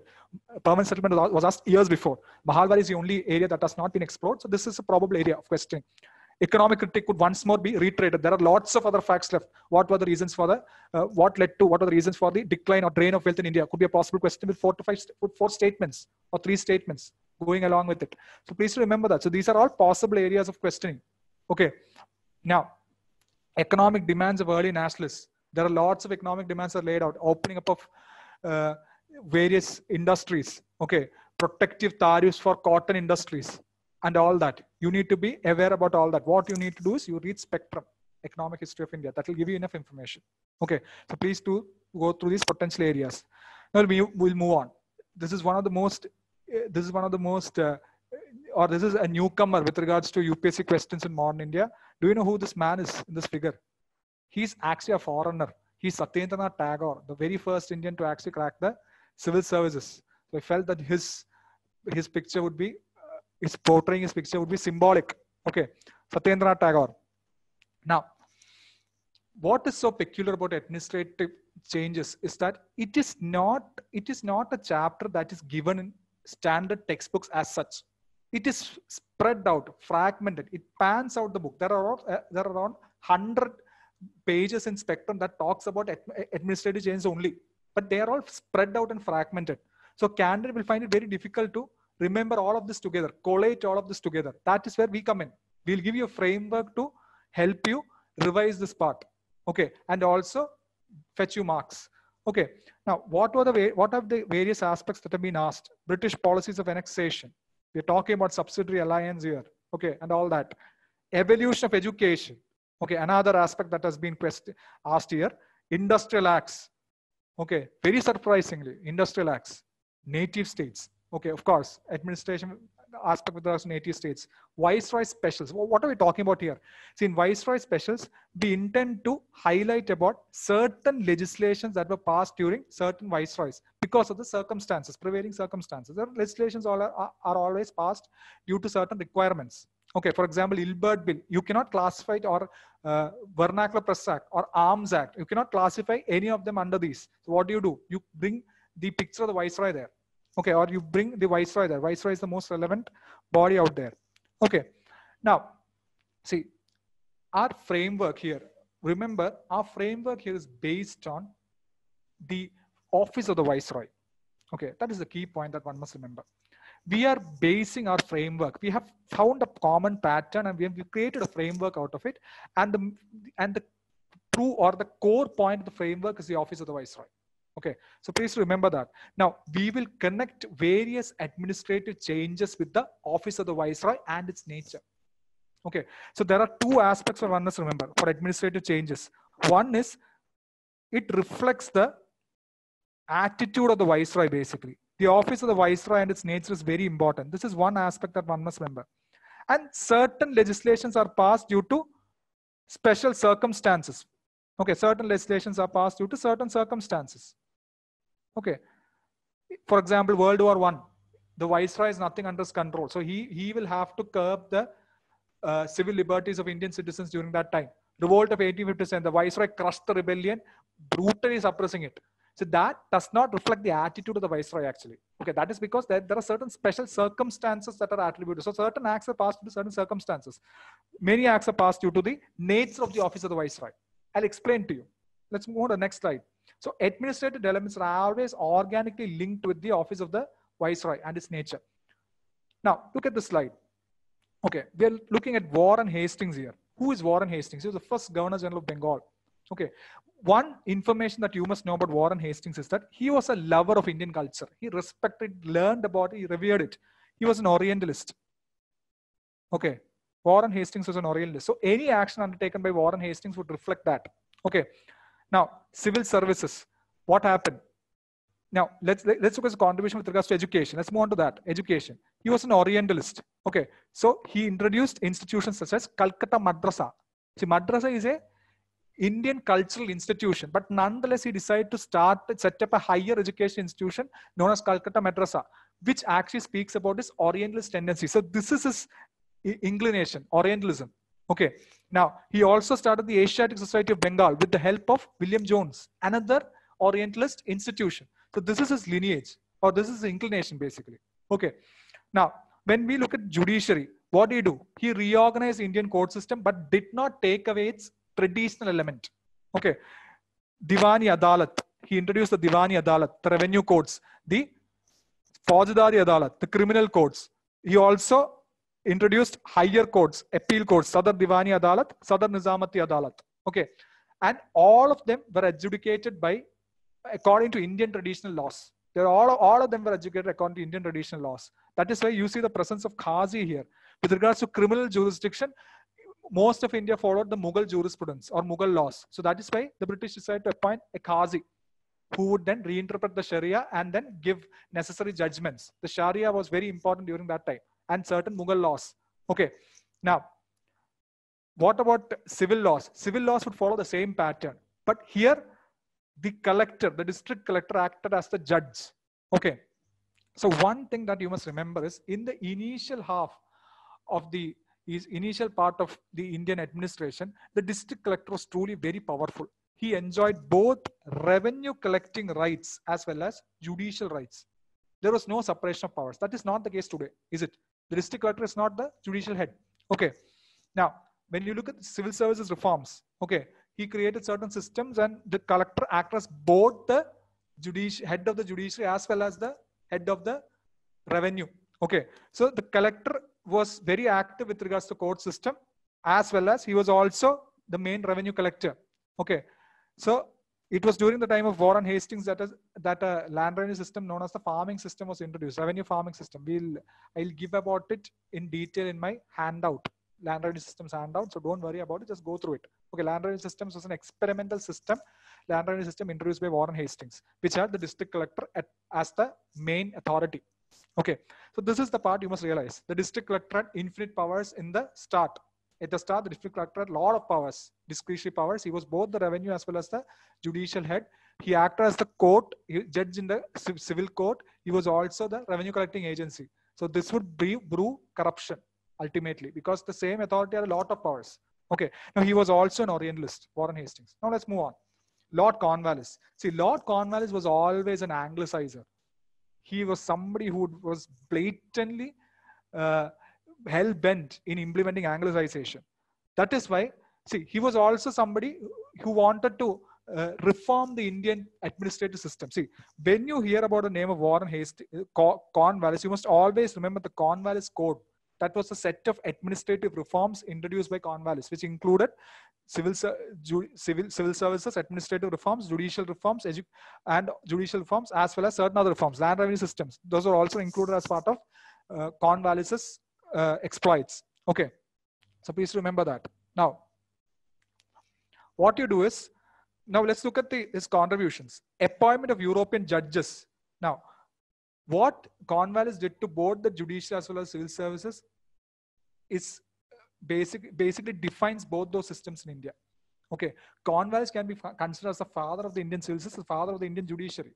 Okay, so he's a very important figure, but he was also an Anglicizer. Okay, now let's see what he did.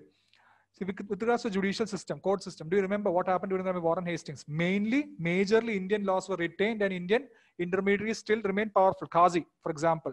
But Lord Cornwallis stripped them of their power. Okay, that's what happened.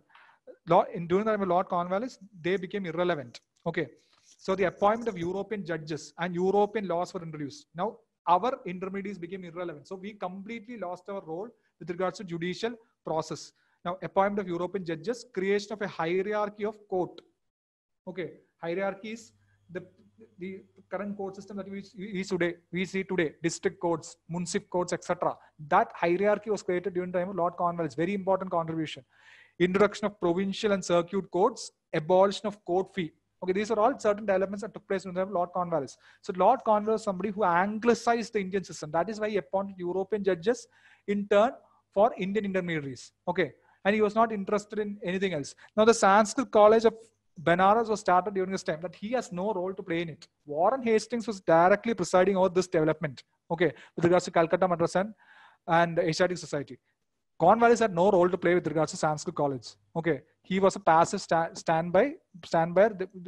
He was just a passive fellow during that time. The man who established it was Jonathan Duncan. Okay, this is there in NCERT. These are basic NCERT details.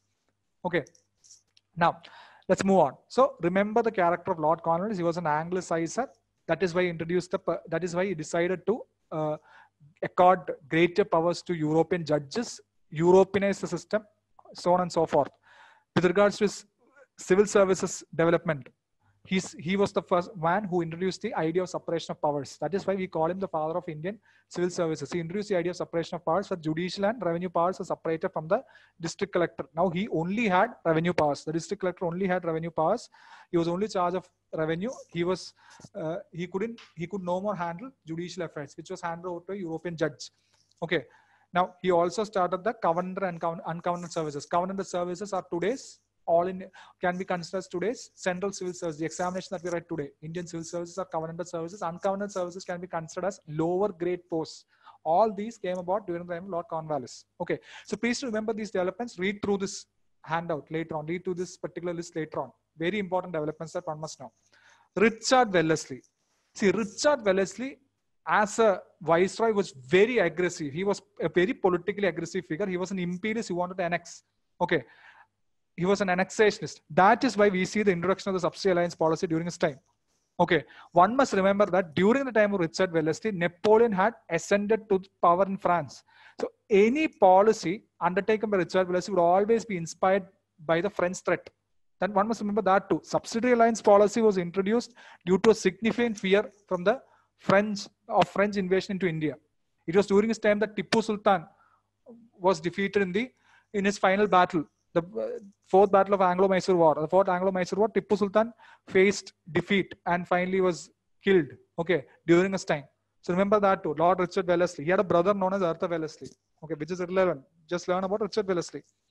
Fort William College. Okay, Civil Services, Fort William College, introduced during this time. This was a college for the uh, to train the civil servants. It was also an education institution. Both, both are the same. Okay, so remember that too. Lord Minto. Lord Minto Charter Act of 1813. Okay, during this time, we have already learned about the Charter Act of 1813. Just remember that was introduced during the time of Lord Minto. Okay, let's move on. Lord Bentinck, another important viceroy. Bentinck was a professed utilitarian. He always considered himself as a utilitarian.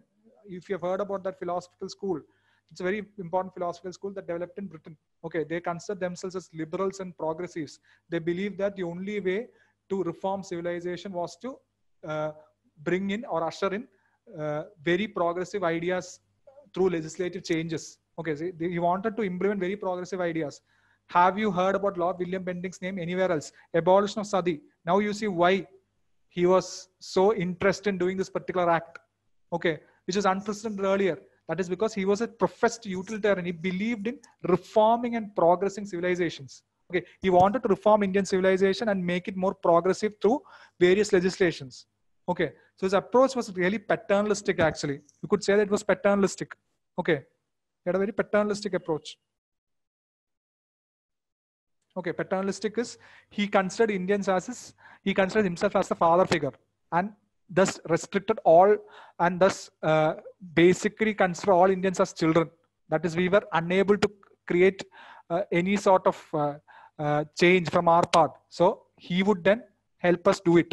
Okay, that, that is the kind of attitude that he harbored towards Indians, that Indians are incapable be beings. Okay, so this was actually a civilization critic that happened during his time. Now, Charter Act of 1813 was passed during his time. He, was, he can be considered as the first Governor General of India. We already discussed about it. Okay. Now, Orientalist Anglicist controversy. You must remember that utilitarians are always Anglicists. They don't care about Orientalism. They believe that Orientalism has harmed the civilization. That is why it remains undeveloped. They wanted to basically rid away the Indian rid away of the Indian culture and impose European traditions which were considered to be progressive. So they would always be against Orientalism. So the Orientalist Anglicist controversy was a very important issue that took place during his time, which is ideologically close to him. Okay, am I clear there? He appointed Thomas Macaulay. That is how you you, you may have heard about Macaulay's Minute. Okay, which basically brought in the idea, the imposition of English education all throughout the country. Okay, am I clear there? All throughout the country, it imposed English education all throughout the country. Okay. Now, so it's a very important issue, measure. Now, Lord Dalhousie, another important viceroy, again, a political annexationist. Okay, remember that. He was considered to be an imperialist and annexationist. So his political activities would always be controversial. His first aim was to annex Indian states. He annexed Punjab via war. He introduced the doctrine of lapse via lots of annexations took place. Okay, doctrine of lapse, doctrine of maladministration. If you remember lapse, all of you are familiar with lapse, maladministration. That is, Awadh was annexed via maladministration. All of this were done under Dalhousie. But one thing the candidate must remember is this is Dalhousie's political attitude. He was an imperialist. But as a, he has contributions in other areas. As a reformer, he has made himself a name. Some British historians have referred, has referred to him as the father of modern India. Okay, because he has implemented a number of reforms in the administrative as well as the social area. So this is his inclination. He's a political imperialist. So anything that he does politically is bound to be bound to go against the Indians. But with regards to his other aspects, he's also a reformer. Okay, that is why you see that he has introduced the rail Indian Railways 1854, Railway Minute 1853, Bombay Thane. Okay, Indian Postal Act, the introduction of the Indian Postal uh, Agency. Okay, the postal service that was introduced. That was introduced during his time. Religious Disabilities Act, another important reform. Okay, Religious Disabilities Act. What did it do? It gave the rights to inherit wealth even for religious converts, actually. Right to inherit wealth for religious converts. Okay. It was during his time that the Bethune school was introduced, first girls' school. Okay. It was also during his time that the Woods Dispatch was promulgated. Woods Dispatch, very important development in Indian education, can be considered as the Magna Carta of Indian education. Okay. If you remember the Woods Dispatch, what did it say? It said that Indian education would Indian education sector would be divided into two called primary or school education and collegiate education. School education, primary, secondary, college education. Uh, would school education be carried out primary school education would be carried out in vernacular languages secondary in anglo vernacular languages why when we transition to colleges the language will be anglican completely english anglicized okay so it had basically overturned its earlier stance of complete anglicization this was complete anglicization now it had overturned that stance okay remember that charter act of 1853 passed during this time opening up the civil services, but did not take place during his time because it, it was the statutory legislation was only passed in 1861. Okay, so remember this too. Lord Canning. See, Lord Canning was a very moderate man. He was not an aggressive man. But unfortunately, due to the activities, political activities carried out by Lord Dalhousie, Lord Canning had to share the burden of suffering its consequences. What happened? The revolt of 1857 broke out during his time. It was not his fault. It was the fault of his predecessor. But he suffered its consequences. So the revolt was crushed during the time of Lord Canning. But he is considered to be a very mild personality. Okay. Now let's look at what his contributions are. Okay. During his time, the Widow Remarriage Act was passed. This is a social reform. So Lord Canning is bound to do many things that happened during Lord Canning is bound to be positive.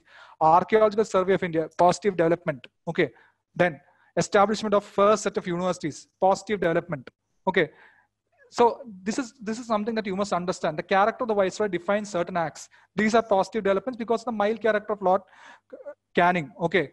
During the time of Lord Dalhousie, we also saw certain positive developments with regards to the administrative and uh, social reform sphere. We saw certain positive developments. So positive developments are there. But with regards to uh, Lord Canning's political record, unfortunately, he was the one who had to suffer the consequences of the acts of his uh, predecessor. That is why the revolt of 80% took place during this time.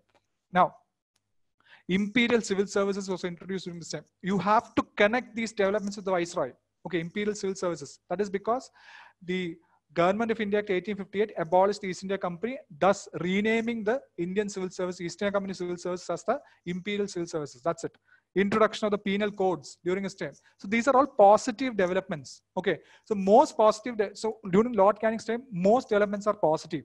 During Lord Dalhousie's time, most political de developments are negative, but the social reform aspects are always positive. Can you understand the difference? Okay. Now Lord Mayo, he only sat for a short time. He was assassinated. First viceroy, first and last viceroy to become assassinated.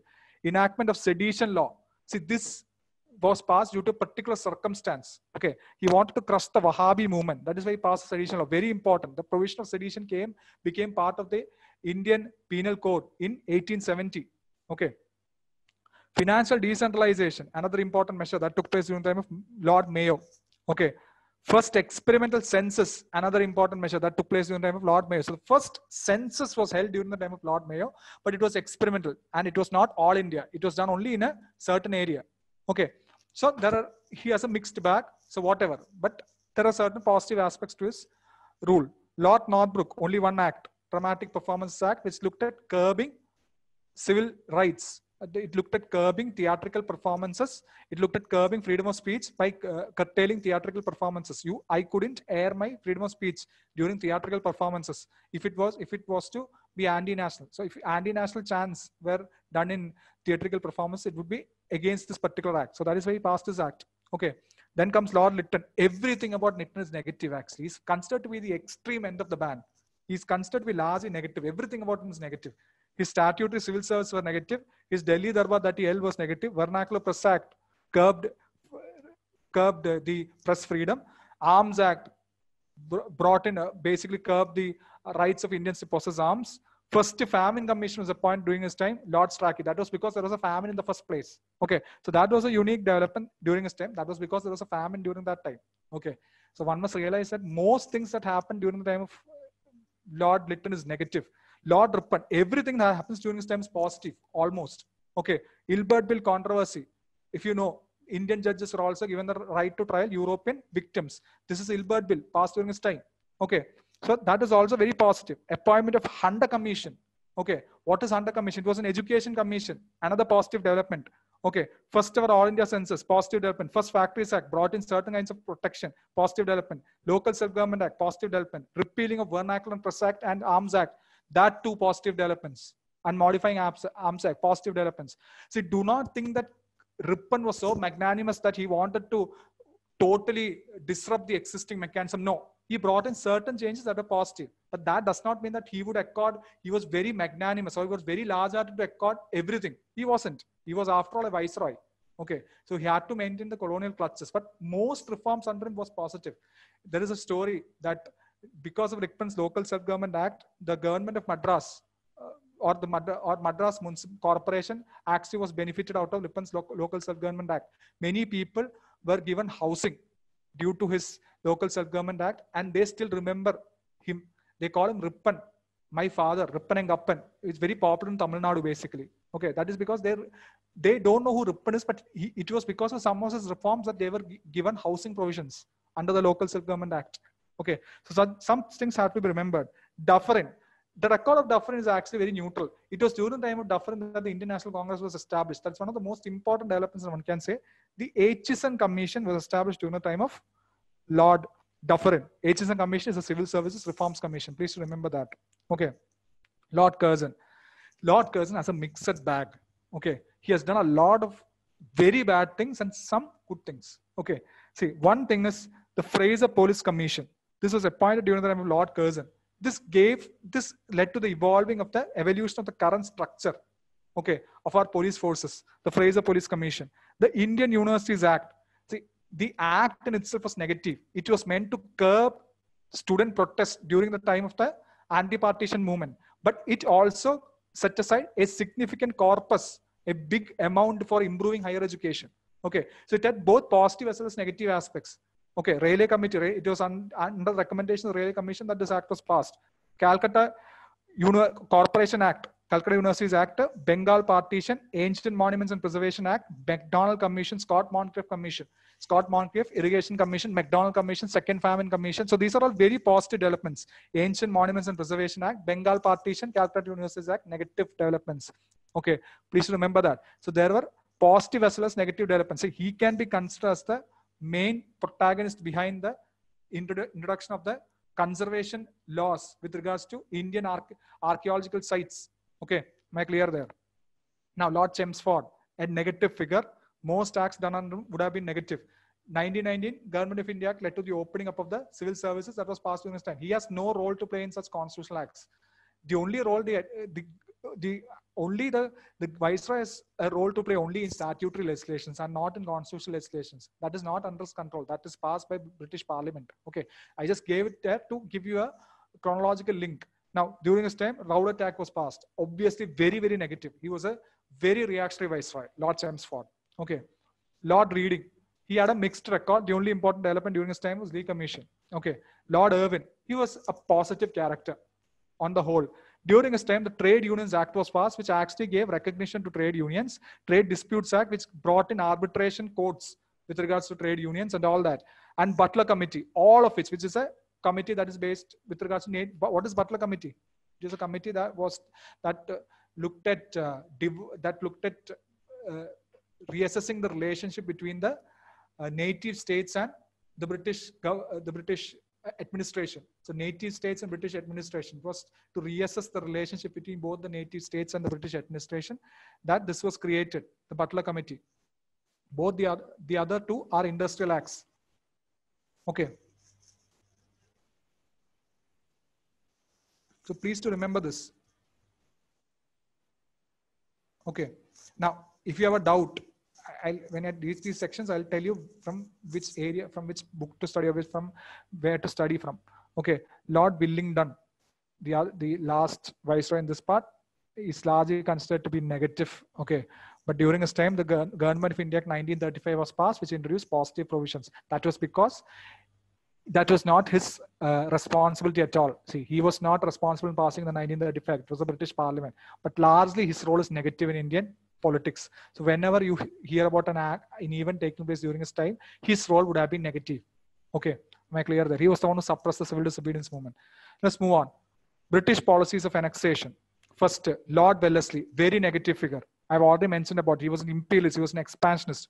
To maintain a last time, to establish British paramountcy over native states, Indian states. Of course, this would have been possible because he was actually a, an expansionist. He wanted to establish British paramountcy over native states and basically wipe them out of the map of India, basically. Okay.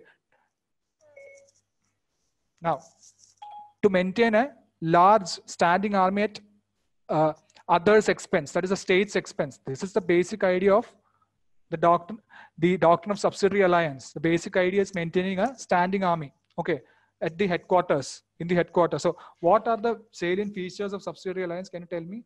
One is maintenance of, I already mentioned about it, standing army. Then, appointment of a resident. If you remember, these are the main points. Am I clear there? Okay. Then, ceding away of external powers to the government. Ceding away of external affairs to the government. Okay, these are various important facets of subsidiary alliance policy. Now, what was given in return? Allies were made British protectorates. Okay, Indian allies were made British protectorates as part of the subsidiary alliance policy. That is, the British would protect them from any danger. So the, the British allies were forced to join in as part of the subsidiary alliance policy and adhere to its provisions, which were reactionary basically. You had to place a resident in your court, a British representative who would control your activities, ceding away your external affairs completely to the company, even place a standing army, a standing regiment of the company inside your native state. And what would you get in return? You'd be a British protectorate. Okay. Now, to secure a fixed income, see, his aim was largely political. This is a political system. If he wanted to if he wanted to raise revenue, he would have done it through land revenue systems and not by passing this particular act. This act was necessary was was necessarily political. It was mainly meant for undertaking political. Uh, politi- it was mainly political to and mainly uh, undertaken to for expansion. Okay. Now to keep India safe from Napoleonic danger, very important point. I've already mentioned that most of the initiatives undertaken during his time would have had such a character. So that's why I said if you knew that Lord Wellesley was an expansionist, you could have understood that most his, this measure was entirely political. Okay, it was an expansionist, it was entirely political. It had nothing to do with raising revenue. Why should such a policy be, uh, why should Wellesley be interested in raising revenue via such a policy when he had the land revenue systems? Okay, now, evolution of education. Now look at this. We have seen, we've got Warren Hastings here. We've got Wellesley here. This is Arthur Wellesley. So, so this is wrong. Who was the viceroy? Richard Wellesley. That's why I said, remember this name only, Richard Wellesley. Okay. Now, you see a repetition here, Orientalist Anglicist controversy. Then Wood's dispatch. Okay, let's just go through this question. Calcutta Madrasa, Warren Hastings, you've already studied about it. Fort William College, not Arthur Wellesley, Richard Wellesley. So wrong. Okay, so two, the second option was wrong. Sanskrit College at Benares, we already mentioned about that figure. Who found, who, or who was William Jones? He helped Warren Hastings found the Asiatic Society of Bengal. So that too is wrong. So I hope you understood the answer to the question. Two only. Okay.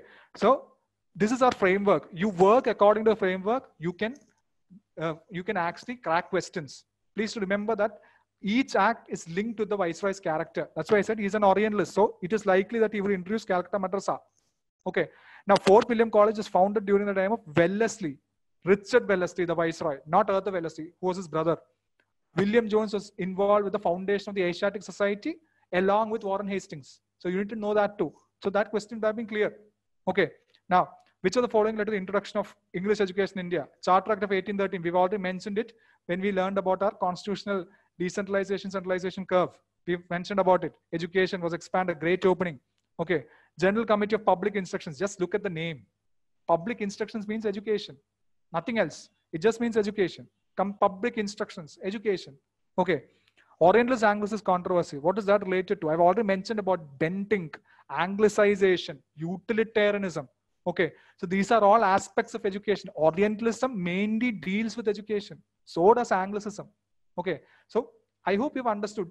This is with. So what do you do? You identify the various viceroys and Orientalist Anglicist controversy took place during the time of William Bentinck. Had you identified that, you could have easily cracked the question. The others two are, two are obvious. Public instructions means education. Charter Act you've already learned. Okay, so this was the only thing that would have been under doubt. So Bentinck, you could have got the answer. What's the answer there? One, two, and three. Okay, next question, Wood's dispatch. Now, how do you crack the question if you do not know anything about Wood's dispatch? Dalhousie, social contributions, positive. Okay, Wood's dispatch, grants and aid seems to be positive. Grants and aid to education institutions, positive development. Establishment of universities, positive development. Recommended under the Wood's dispatch, positive development. English as a medium of instruction, all else education was recommended. Is it positive? No, it is eliminating the local flavor and local language, which is not which is not favorable. Okay, it is not something that is not good. Okay, so this was this can be considered as a reform that is not entirely good. So this was negative. So, but Dalhousie's contributions in social reform sector are or social reform or social sectors are largely positive. So this is negative. So this is wrong. Okay, assume that this is wrong. What's the answer? The answer is one and two. Okay, so you are actually cracking the question by using the names of the viceroy. Okay, let's move on. Factories Act introduced during the time of Lord Ripon, as I told you earlier. Factories Act. But let's look at the provision. So this is likely to be positive. Okay, it was positive. Let's look at the provision. Was passed with a view to fixed wages for industrial workers and allow the workers to form trade unions. During this time, see, Marx had only started his first Comintern, first Communist International during this time. This was much too early for trade unions. Okay, see, trade unions only became strong after the Russian Revolution. You must have known that. See, Factories Act had a lot of positive provisions. It increased the security of workers. Okay, and also prevented, uh, basically, it abolished children of the age of seven, below the age of seven, from being deployed in factories. So these are all very positive developments. But this is just this is just too early to happen. See, had Ripon been there 30 years later, this would have happened. So that's why I said this is just too early to happen. So you have to also read through the circumstances. Okay, that is where that question has been framed. But factories had nonetheless came. That's why I said you have to note such things. If Ripon is important, you have to learn it. Okay. Now, N.M. Lokhande was a pioneer in organizing the labor movement. This you have to, if you had to eliminate this option, you needed to get the question. Or with this framework, all you could have done is you could have got question, option number one. Option number two depended on your knowledge. Of course, N.M. Lokhande was one of the premier trade unionists. That is why for studying this section, you refer to spectrum. Okay, you go through spectrum to study about industrial acts. There's a section called working class movements in spectrum. Just go through it. Okay. Trade Disputes Act. Again, this was passed during the time of Lord Irwin. So it's likely to be positive. Okay. But don't think that it is it is in the extremity that is very positive. No, it was it is likely to be positive. Okay, now let's look. The participation of workers in the management and industries is it, it is there now. It is not there even now. Okay, it is not there even now. So can you say that this is correct? No, it is not there even now. Okay, arbitrary powers to management to quell industrial disputes. I said that his contributions will be positive. This is very negative. Okay, so you cannot say that too. An intervention by the British court in the event of a trade dispute. See, that need not be passed in Trade Disputes Act. Let's leave that aside. Let's look at the next part. System of tribunals will be introduced. This seems positive. Ban on strike. But don't think that everything he does or everything in that legislation might be positive. No, but this is a very positive aspect.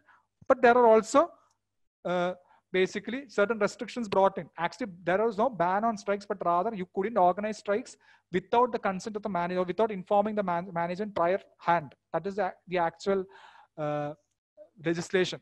Okay. The UPSC has basically given a narrow interpretation of ban on strikes. So whatever, but system of tribunals were introduced. See, this is not possible at all because this is not there now. Arbitrary personal management is just too negative. There is nothing positive about it. So we our framework fails there. An intervention by the British court in the event of a trade dispute. So what? This is an Industrial Disputes Act. This has nothing to do with trade dispute. This is an industrial act. Okay. So what? It doesn't bring in anything positive. Inter intervention of the court. But this is positive. This is an administrative development that was brought in by the state and positive. But it also cannot be too extremely positive, can it? No. It needs to bring in certain legislation restrictions too. Okay, that will always be there because he's a governor, incumbent governor general. He cannot allow the uh, Indians, the Indians to have their own way. Okay, so that is the most probable act. That's how you connect it. The my, viceroy's mild manner. That's how you connect it basically.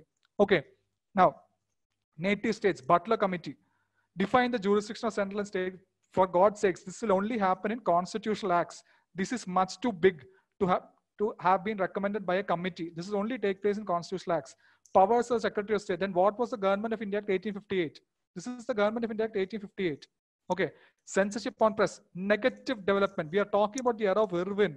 So Irwin is, li is likely to do positive things. This is too negative restrictions on the national press. Improve the relationship between the government of India and the Indian states. This seems positive. So you could have eliminated up to C and D. Then you could have you could have if you have if you have known these are these are very simple options. So you could have known by your knowledge. But C and D seems to be difficult. So what do you do? You look at the aspect or nature of the viceroy. He has done positive deeds. So it is likely that the act, administrative act under him might be positive. So this is the only thing that seems positive. Okay, so that's the answer. This is how you answer this question. Okay. Ilbert Bill controversy. Ilbert Bill, Ripon, positive. Positive development because Ripon was somebody very positive. Imposition of restrictions of Indians to carry certain arms, not possible. Positive. This is too negative. Imposition of restrictions, too negative removal of disqualification imposed on the Indian magistrates with regard to the trial of Europeans. Positive development. Okay, Ilbert Bill. Removal of a duty on imported cloth via a bill. This is just an executive act. This is an executive order. It would require only an executive order to do it. Okay. This is a very positive development. So if you know certain aspects of, if you have heard about the Ilbert Bill, if you knew Ripon had done a very positive deed, and if you knew something about it, you could have answered this question. Because Ripon does very positive deeds. Okay? And this is this is not this cannot this cannot be this is not considered an act. This can be passed by the government as such. You don't reduce customs duties via acts. You do it by executive orders. Okay? Now rowlatt act chelmsford very negative. So whatever he did was very negative so what was the rowlatt act okay what was it meant for it was meant for a lot of things imprisonment without trial and summary procedures for trial this is something that you must know but what i'm trying to say is this is like very this is going to be very negative because Chelmsford is going is a very negative viceroy. He was a very reactionary viceroy. Okay, suppression of the Khilafat movement. No, Rowlatt Act was before the Khilafat movement, prior to the Khilafat. We'll give you a time scale later on, so don't worry about this too. We'll have we'll give you a time scale later on. Imposition of restrictions on freedom of the press.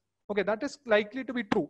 But if you knew about the Rowlatt Act, you knew that the Rowlatt Act was something different. See here, the nature of the viceroy corresponds, corroborates. All four options corroborates the nature of the viceroy. So what you need to do, you need to have specific information if you have to answer this question. You cannot simply answer it in, with a general framework because all of these are negative. Okay. But you, if you knew that Rowlatt Act was something political, then you could have got the answer. So I hope you understood the framework. If you do not know anything, then try connecting, linking the development with the viceroy's nature. That is what you do. Okay. Now, reference materials. What are the reference materials here? Spectrum on India. But you will always have to adhere to the framework of the viceroys. Okay, you will have to adhere to the framework of the viceroy. Key point remember is this framework. Okay, and the organic link between various administrative reforms and the viceroy. Okay, this this period saw this question or this area saw a number of questions in 2018, almost four questions. It's ex basically explored in 2018. That is why it has gained greater relevance. Basically, question scale easy to very easy questions. We have already discussed about it. Most questions are easy except those from the industrial act part. But that we've already made you made it easy for you. Just read spectrum, working class movements. That will suffice. Okay, so please to study the framework it's only via the framework that you can revise. Otherwise, it's going to be very difficult for you to revise and learn the nature and character of the viceroy. That's going to help you. Potential areas. Doctrine of lapse seems to be a potential area. It has been left out. It seems to be a potential area. Macaulay's minute. Since they have asked Wood's dispatch already, they've also referred to the Orientalist Anglo controversy. It's likely that they are likely to ask a question from education related to Macaulay's minute. The press. This is not going to be a question on the press. This is going to be mass the following question. Correct connect the founders and the press. This is that is the that is going to be the type of question that's going to come. The founders have to be connected with the press agencies. For example, Gandhi, Young India. Okay, so the, this is the type of question that's going to come. So correct the following match pairs. That's the type of question that you can expect there. Lytton's policies. You're going to expect a lot of questions. There are, this is an unexplored area. Vernacular Press Act, Arms Act, Delhi Darbar. These are all areas that have been that haven't seen questions at all it is very likely that there are going to be questions from this area. So fo do focus on Lytton's policies. We're talking about the Vernacular Press Act, the Arms Act, the Delhi Darbar and all that, statutory civil services. Please to focus on it. Okay. So we'll stop our session for now. Thank you and stay logged in for tomorrow.